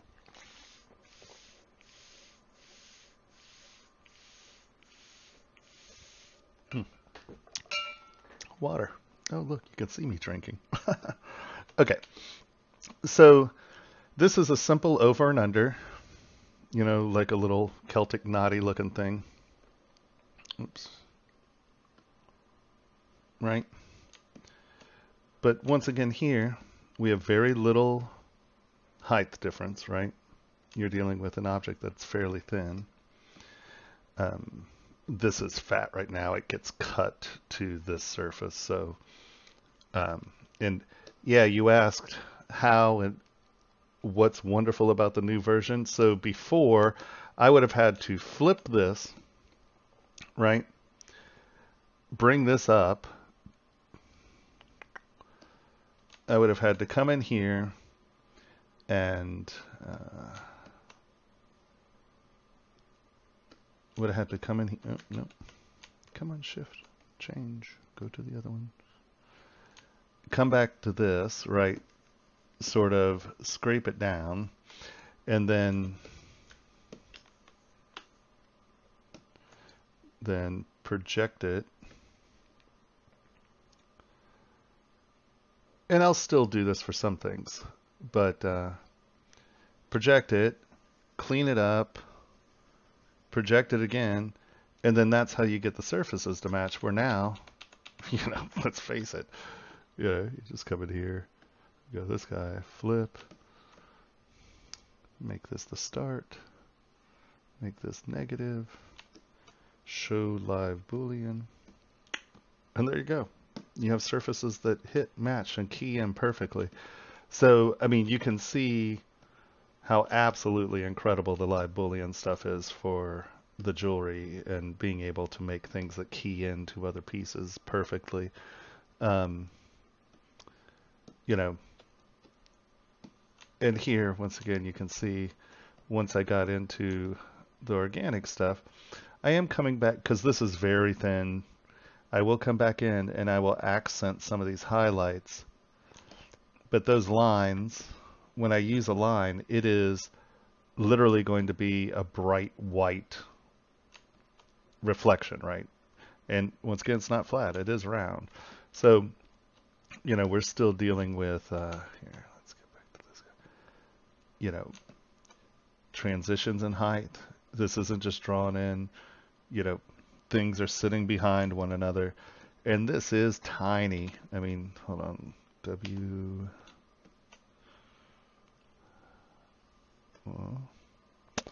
Y. You know, that's a mill right there. That's only a mill wide. You know, that's a mill and a half. And you can, because of the textures, because of the shading, that reads awesomely. It's beautiful. But once again, you need a SolidScape printer to pull this stuff off. Like, um, you see a lot of these things winning print competitions, and they're just really thin, wiry um, constructs. Well, any printer can print those for the most part, as long as you have your wall thickness stuff. So I have a Form 2 here at home, and I can print something that's half mil wire all meshed together on that. Um, where, oh yeah, someone did. um, where this is what the SolidScape picks up better than anyone is that it'll pick up the subtle surface detail. And that's really how you can tell the great printers is you know they'll pick up this subtle stroking and these changes in levels. And i mean like i said what two this that's yeah that's a mill a mill so you're dealing with on this stuff super tiny stuff. And yet again the knots work really well because you have you know this distinct over and under over and under over and under you know.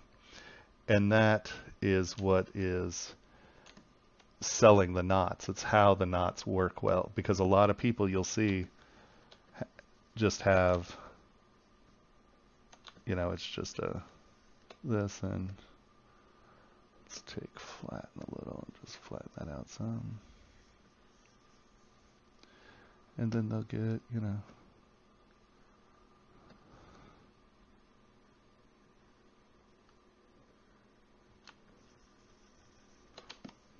and what's going to read better?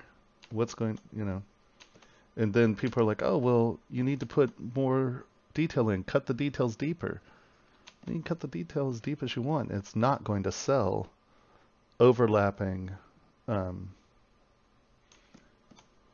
it's not going to make overlapping objects. It's not going to read as an overlapping object do you get the piece printed so you can make molds yourself, or do you order it as a 3D printed metal piece, depending on the part? Um, some of the stuff we print in metal, uh, it, printing in metal is fairly cost prohibitive unless you're doing um, lots of pieces. Like, you know, if we were just pricing some parts in titanium, mm, excuse me, and um, those parts, if I were to get one piece, then it was going to be um, something like $200 for the piece.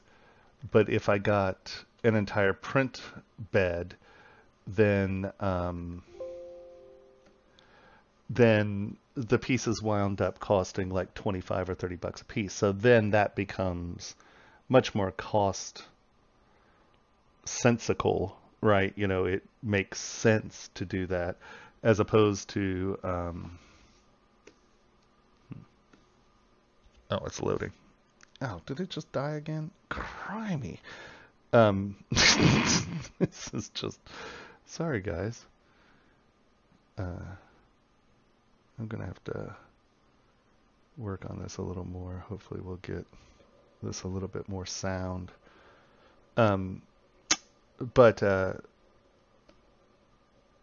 mm, where was I saying before it crashed? Oh, but you know, you can get it for um, you know, 20 to 30 bucks a piece, but you're spending well, that's exactly it. What's the volume of the bed?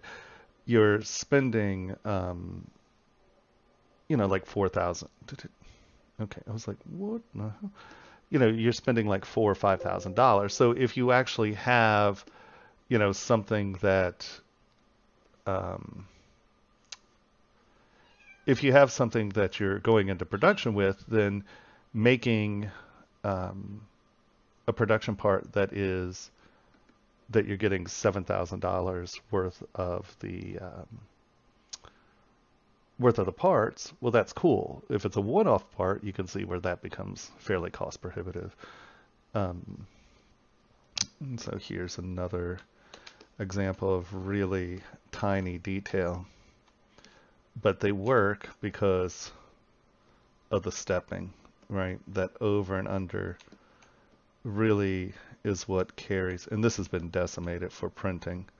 But you can see even here, it's real important to have these faces that catch light. You can see them, right? And so, um, you know,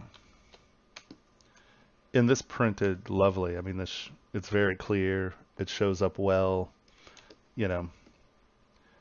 Uh, this that was kind of silly here. This becomes a real nightmare to mold. It was cut.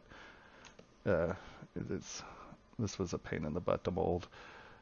We came in and I've changed it since then, and you start to fill in some of the stuff so you don't have these weird mold pinches. And um, but at the end of the day, this printed beautifully. It came out lovely.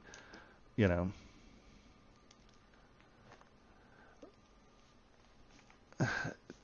what would do you recommend for other artists do that don't happen to have spare thirty thousand? well, uh, the um, uh, uh, go to a real casting facility. I mean, um, like Casting House uh, is who I used before we set up our own shop with William Henry. Um, you know, there are a number of real casting facilities that have the machines. There's that. Uh, there's a I can't remember what it's called. It's a 3D printing service that tells people put their um, put their uh, their printers up online.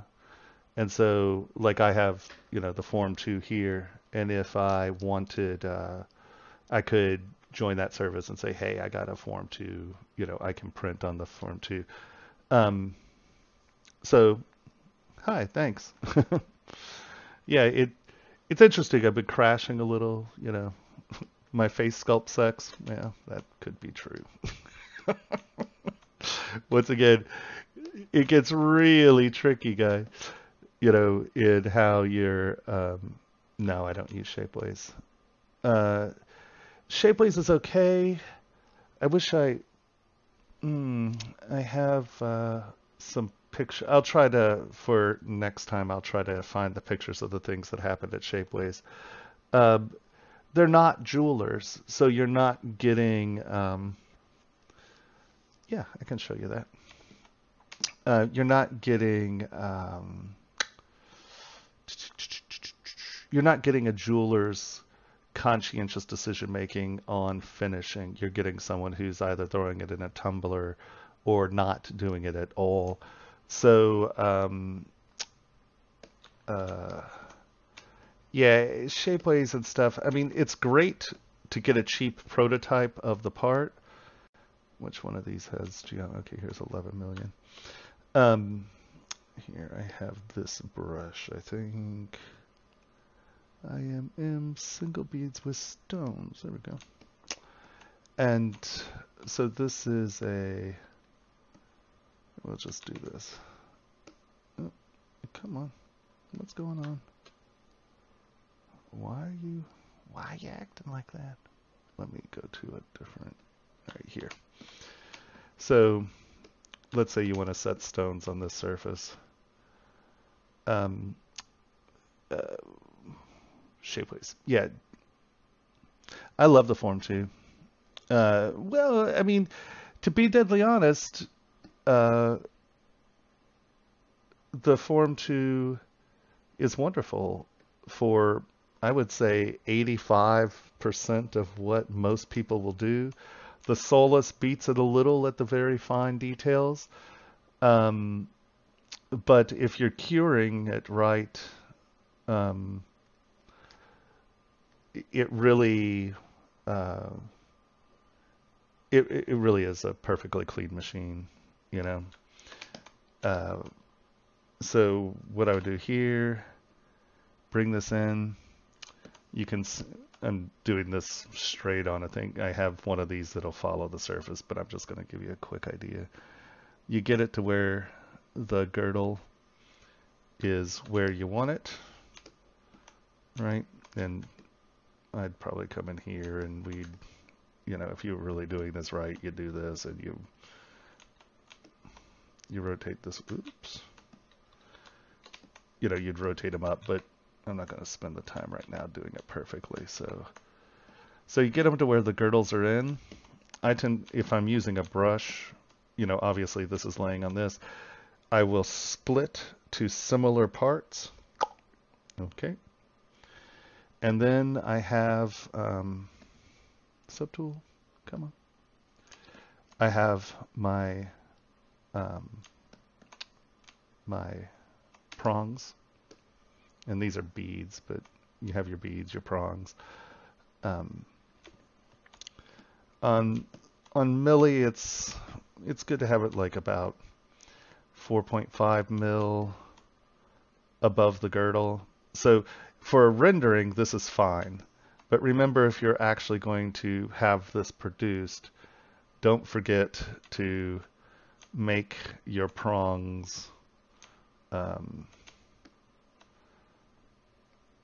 tall because they have to have metal to knock them down to set the stone. So make sure your prongs are up high. And then I will take these. On, let's hide this and let's hide this. No, it is this piece that we're on. Okay.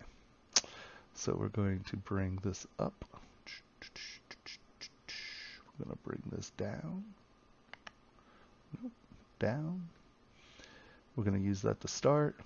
We're going to use that as uh, as an additive. The stones are now subtractive, right? Live Boolean. And you'll notice, let's see, yeah, they're cutting into, see how the girdle is cutting into the stone? All you have to do is bring it down, touch it, there you go.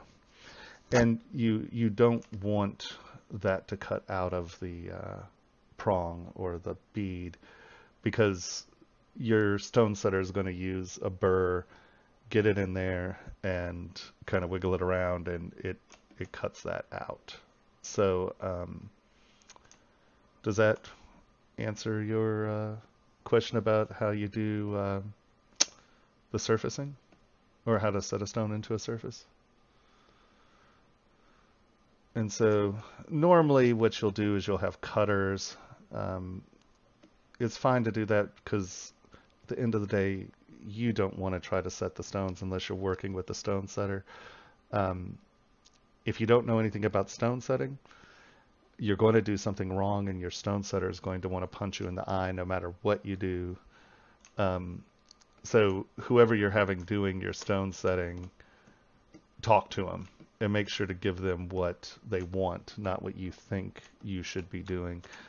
Um, remember that for the most part, we are not jewelry we are not jewelers we're jewelry designers and there are jewelers in the world who uh, really hate the fact that people who aren't jewelers are doing this stuff because you make a lot of really arbitrary bad decisions when it comes down to uh, uh,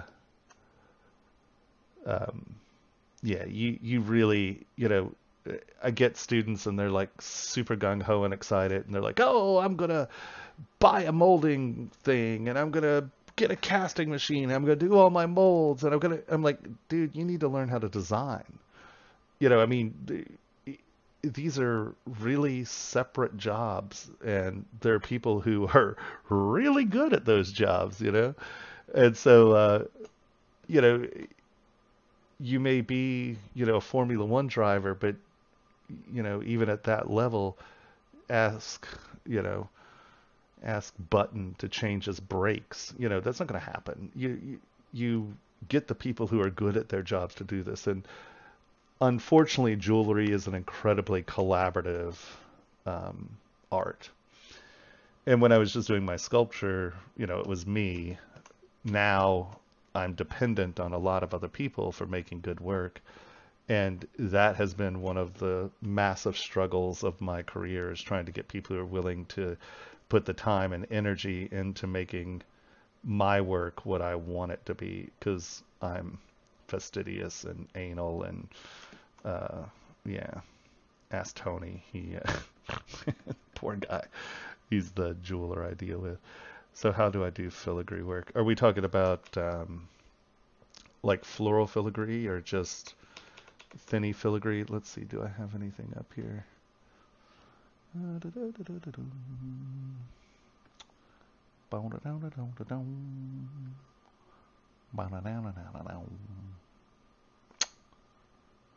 Know that I have anything filigree E E. Oh, good. Yay, my counter changed. That's a big bonus. Um,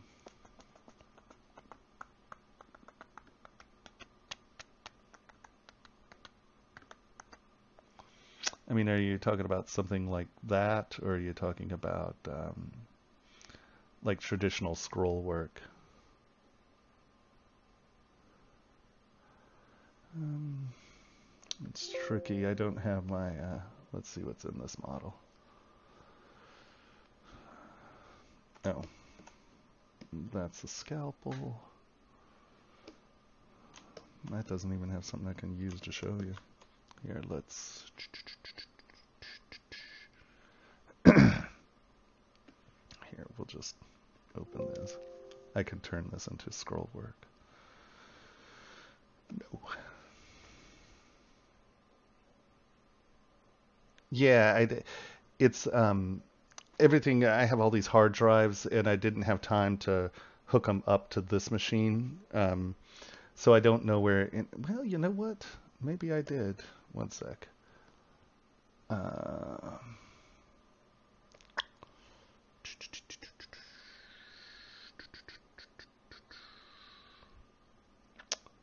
oh, you know where it is? Here, I can download it.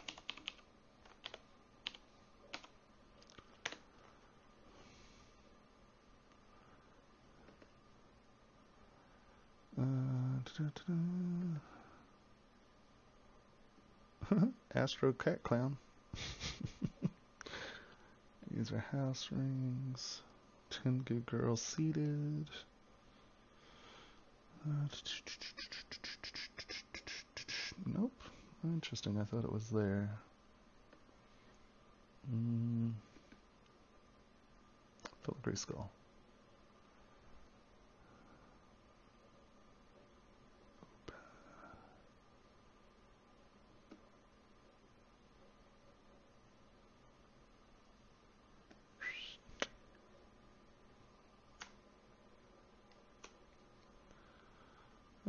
Bob.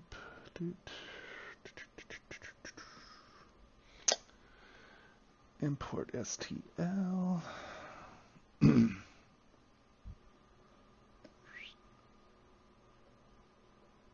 oh, see, I can't brush my brush stroke.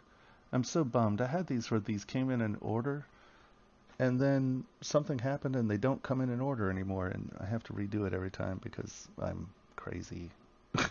I can't find anything if it's not in the right order.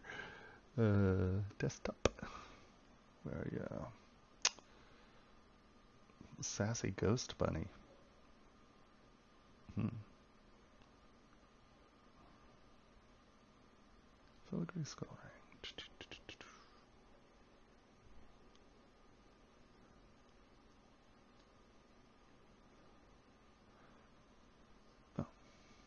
Come on, where are you? Oh, there he is. All right, so this is the filigree skull ring. I think is this what, the one you were talking about?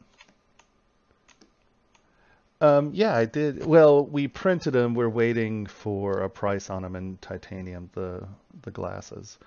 Um,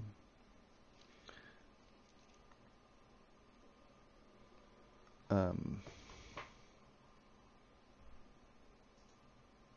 Dildo whistle. Yeah. Uh, I see you saw that. Uh, yeah, there's uh, an alien form that I've been using, and uh, it's a whistle format of it. Eh, uh, it's awesome.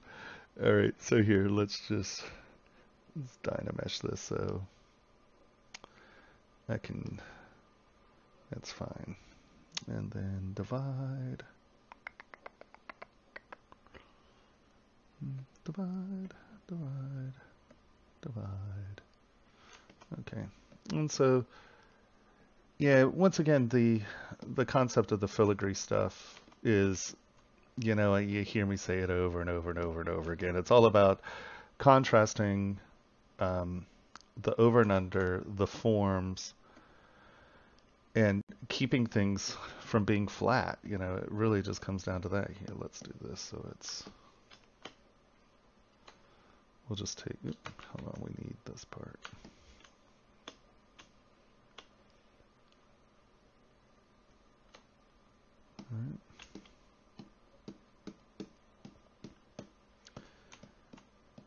So, just come in. Yeah, that's still too high, no wonder. And uh, so the first thing I'll do is I'll just get my form, right?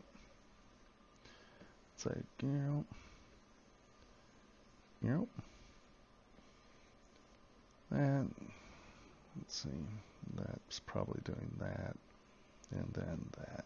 Okay, so that's our rough shape. Let's get rid of some of this so it's not confusing.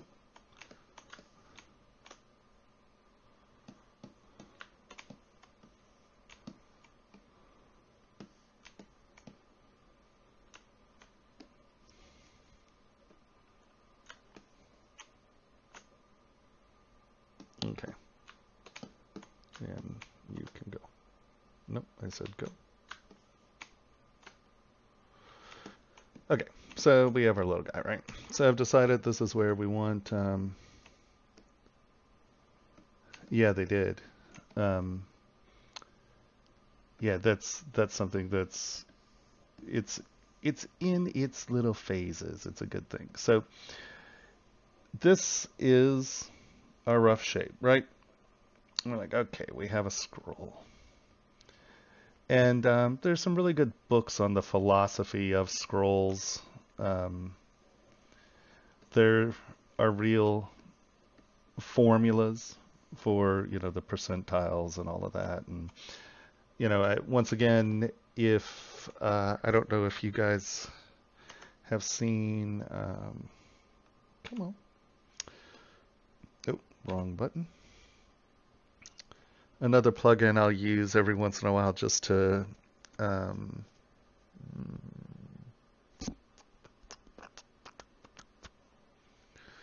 what's it called? Phi, Phi Matrix. Where is it? There it is.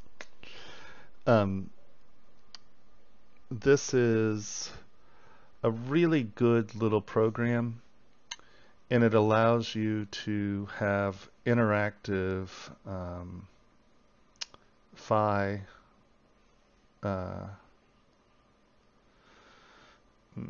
grids, right? And so you can start to lay out things to the golden mean and the golden ratio. Yeah. And so this is just, um, uh, this is just your standard um, phi breakdown. So it's 1.681. Now, um, the golden rectangle and then your golden spirals. So here, let's, this is going that way. Where, like that one. Boop. There you go. And so this will give you an idea of what you're, if you're on proportion or off proportion. I tend, I won't really use it for layout. I just do my own layout and then every once in a while I'll come in and start to see if things are a little weird, I'll I'll throw the thing on top and then um, um, I'll check my proportions sometimes. Like if something's really bothering me, um,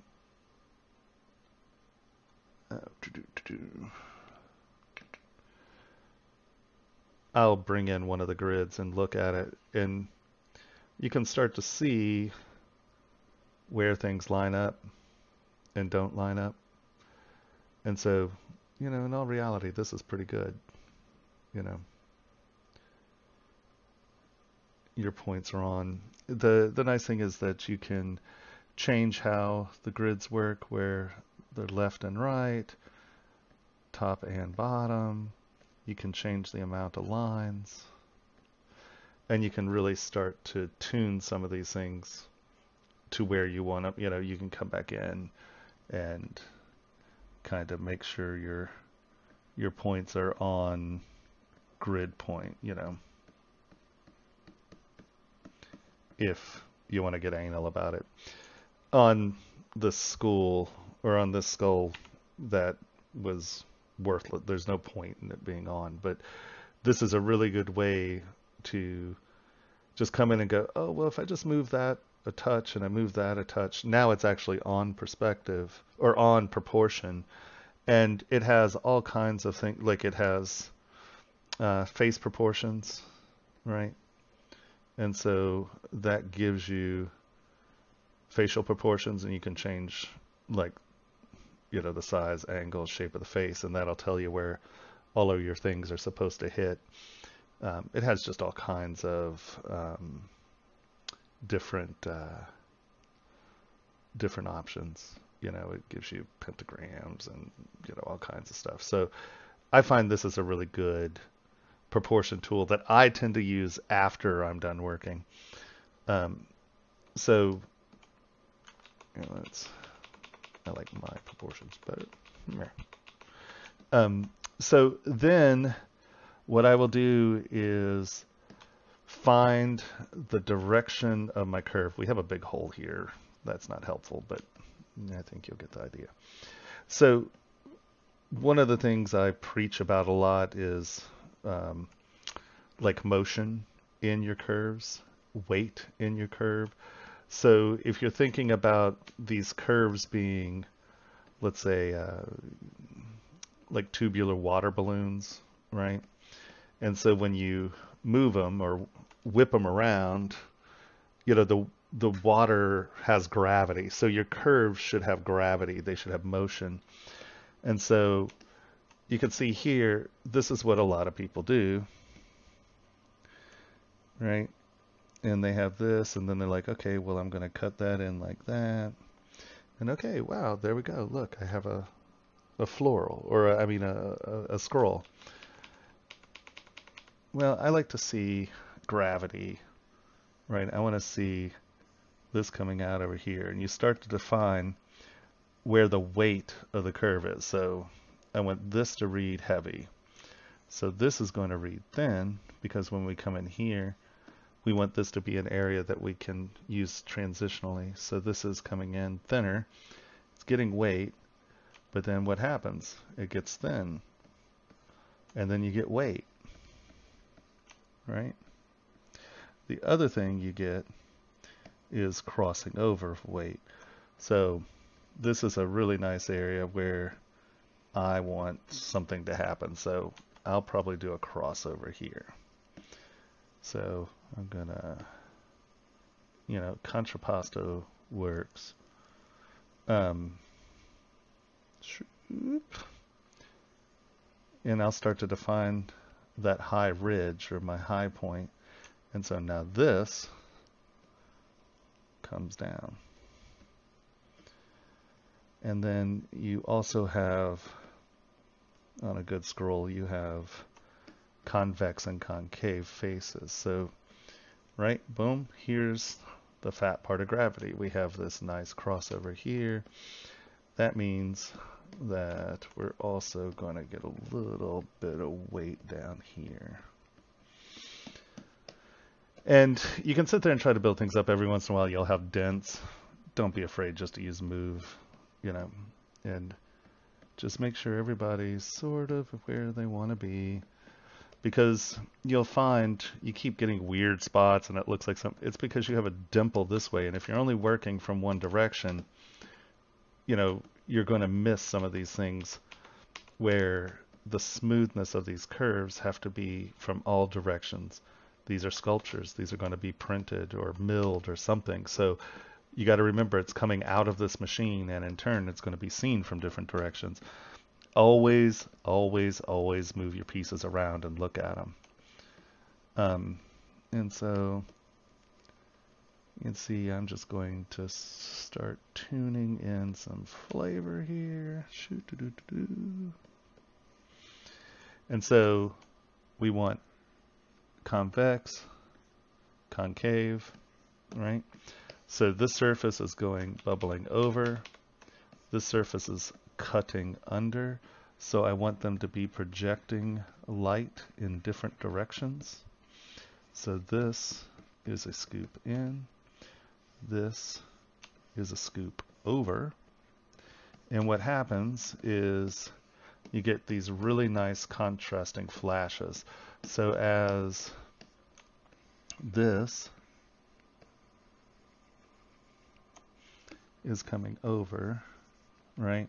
I'm just going to use snake hook as an example.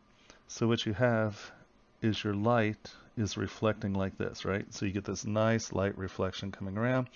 And then as you come into a scoop, you get this light reflection that's coming right back and in. So you get this nice flash on the inside as you roll into your curve. So having that contrasting um, surface uh, planes I think is real important. So we've decided that this is going to scoop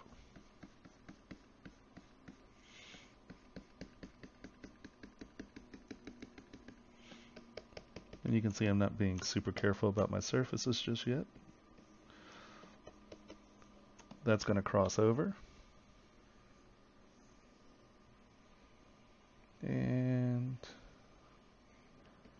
It's going to come into that, let's see. So we'll probably, this will read, it won't be a full crossover, but we'll get a transition here. Well, we can. We'll cross over here. Wait. Scoop.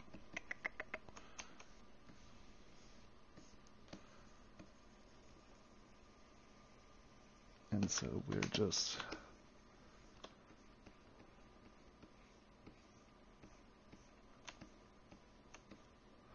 and see that little dent right or that bulge right there, that's what I'm talking about. You need to look around because these want to be smooth curves, right? So just bring that in and you're you start to identify some of the problems early where you're not trying to sculpt your way out of that. You can literally just move it.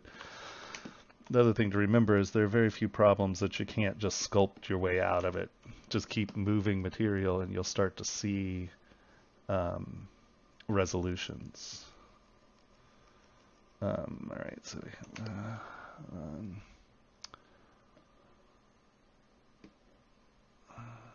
res, res, res, high res, high res, high res.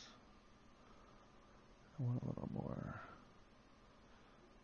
It won't let me divide with it. Uh, the lowest subdivision. Okay. Sometimes that changes. Lower. Let's give it one more division.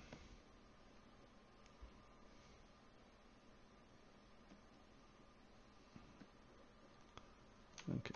Oh, for God's sake. Man, this is jumpy. Sorry, guys. I don't know why this is crashing so much. Um, I think I it's the Ma Dirty Blue, M A H Dirty Blue. Um, it's as far as I'm concerned, it's the best material for um, for printing because you can, there's a gray that's pretty good, but um, it allows you to uh, really see. Uh,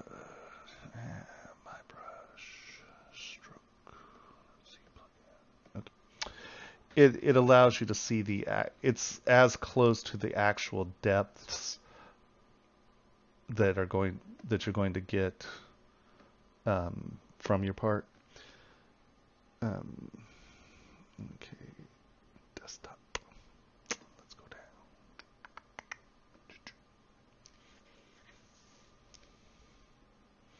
down. Frame. Oh. Ma dirty blue.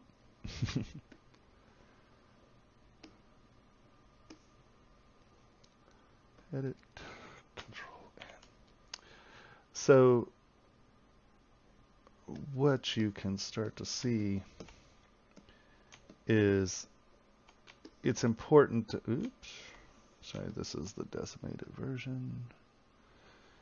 Um, let's just divide it up and it should be fine. There we go. You know, it's important that you have these transitions. And um, some of these, this one has been bubbled out a little more than I normally will because these are really thin.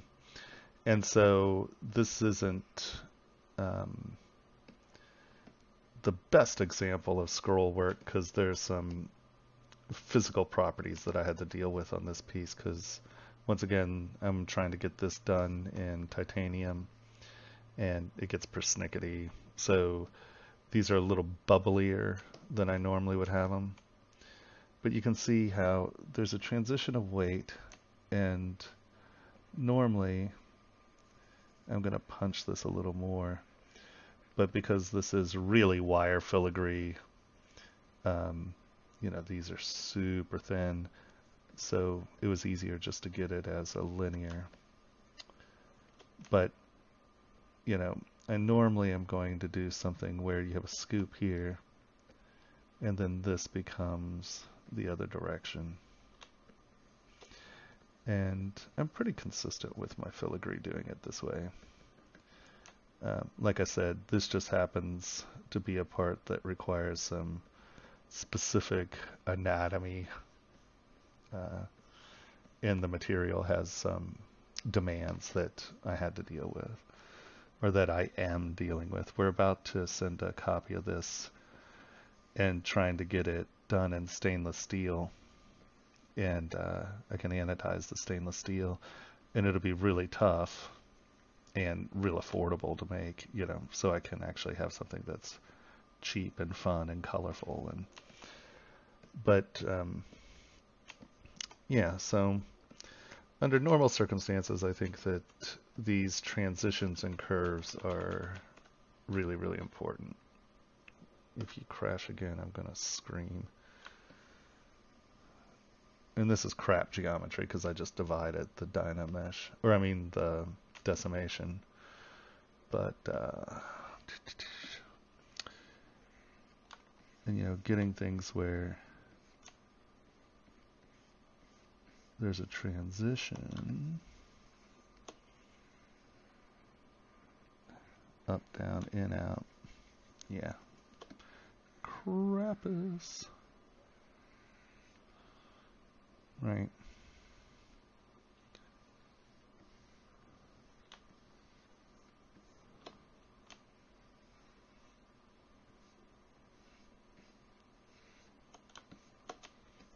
Does that make sense?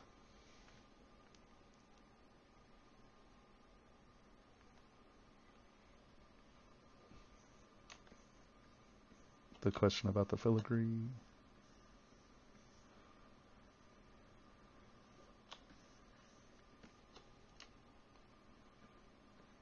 Yeah.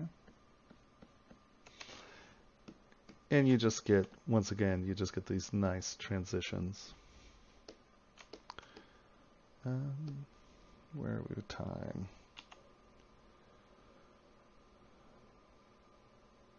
So I, I guess I've gone over time, or have I not gone over time? I can't tell time. I have no idea when we started.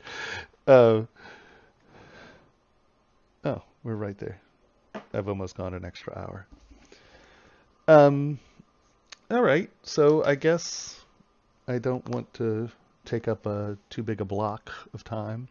are there any other uh, questions or anything uh, that anyone would like to know real quickly?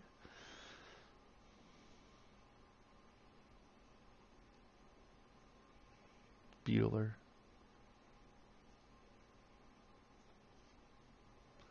I don't. That's something I don't know. Uh, that's I, I'm. Um, this is my first time doing this, so I have absolutely no clue. I don't think I'm going to run over into anyone else's time, but um,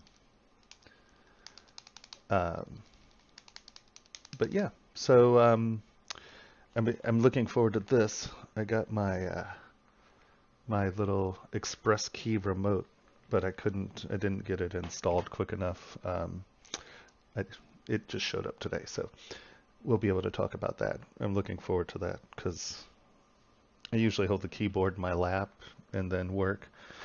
Um, so we'll see if I can get this to work, and that'll be cool. And the other thing, I don't know if anyone heard, did everyone hear that uh, they're coming out with a 32 inch Cintiq 4K? Just so sexy. Um, so we're going to see how that works out. Try to get uh, that. So, yeah. Um, sorry, I was a little bit of a cluster tonight. Uh, you know, uh, it was a little chaotic as far as crashing and stuff. Um, yeah. Any last questions or anything along that lines? Okay, good guys. I'm glad.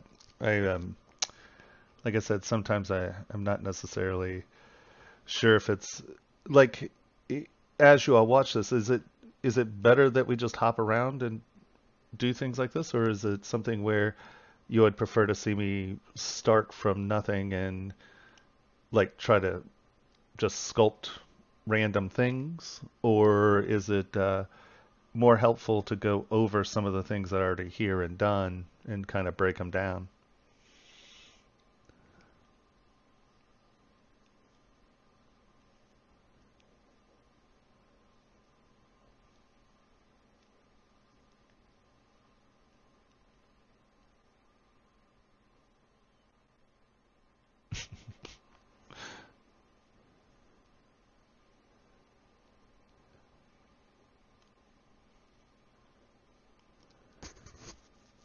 Cool. I, I, I do I, I do I do stream of consciousness as well. Okay, so next time I'll have a little bit more of a a concept, and so it's not next Monday; it's every other Monday right now.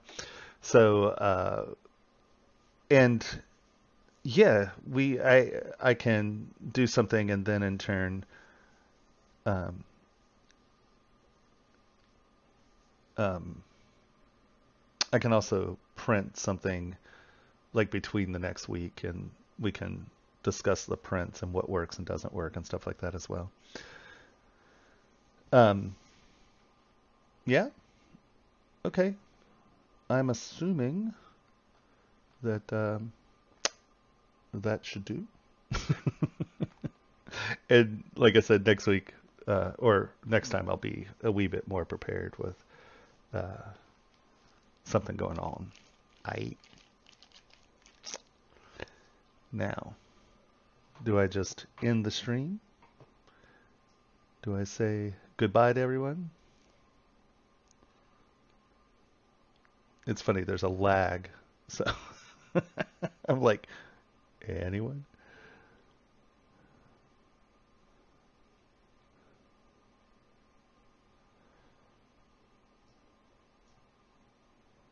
All right, guys. I had a good time, and like I said, next time um, we'll uh, we'll get it uh, a little bit more uh, in stream.